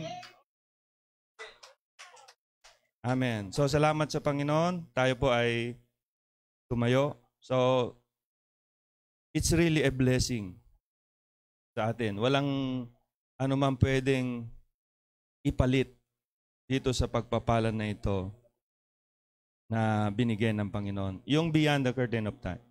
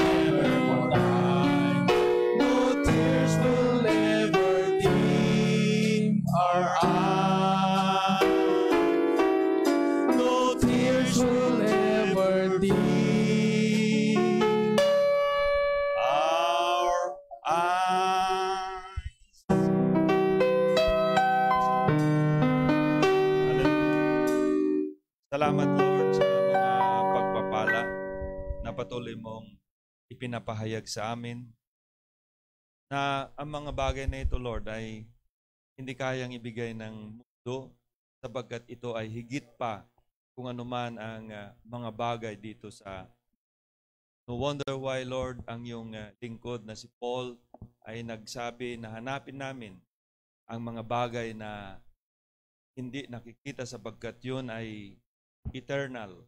Hindi yung mga bagay na nakikita sapagkat yun ay temporal. And so are, we are so blessed, Lord, na patuloy na ipinapahayag mo sa amin ang mga bagay na hindi makita ng mundo, ngunit salamat sa pamamagitan ng kapahayagan ay patuloy na ina-unfold mo sa amin, Lord, ang takdal na kalooban, ang iyong uh, kaisipan bago itataga sa libutan, ngayon ay ini-enjoy namin, Lord. At I pray na ang uh, mga pagpapahayag na ito ay maging kagalakan sa aming mga puso, kapanatagan na sa kabila ng ah, kalagayan ng mundo, kami ay nandito pa rin. At ang laman na ito, Lord, ay may mga patuloy na pinagdadaanan. But Lord, we are waiting for that promise nangyari in this day na kung saan, Lord, itong katawan na ito na may kasiraan ay papalitan ng isang katawan na walang kasiraan. We believe, Lord, lahat ng mga palatandaan na ang mga bagay na ito ay mangyari namin na nakikita, Panginoon.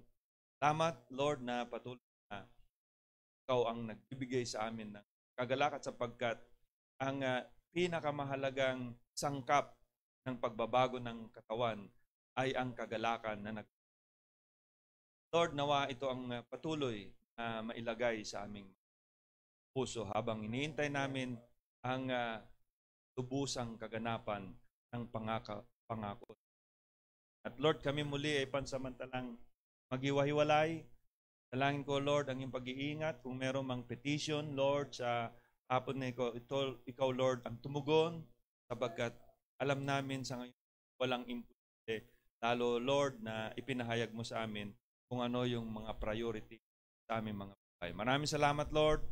Ikaw din ang patuloy na mag-bless sa mga kamay na ginamit mo sa kanilang pagkakaloob at ibalik ang higit pa, Panginoon. Maraming salamat.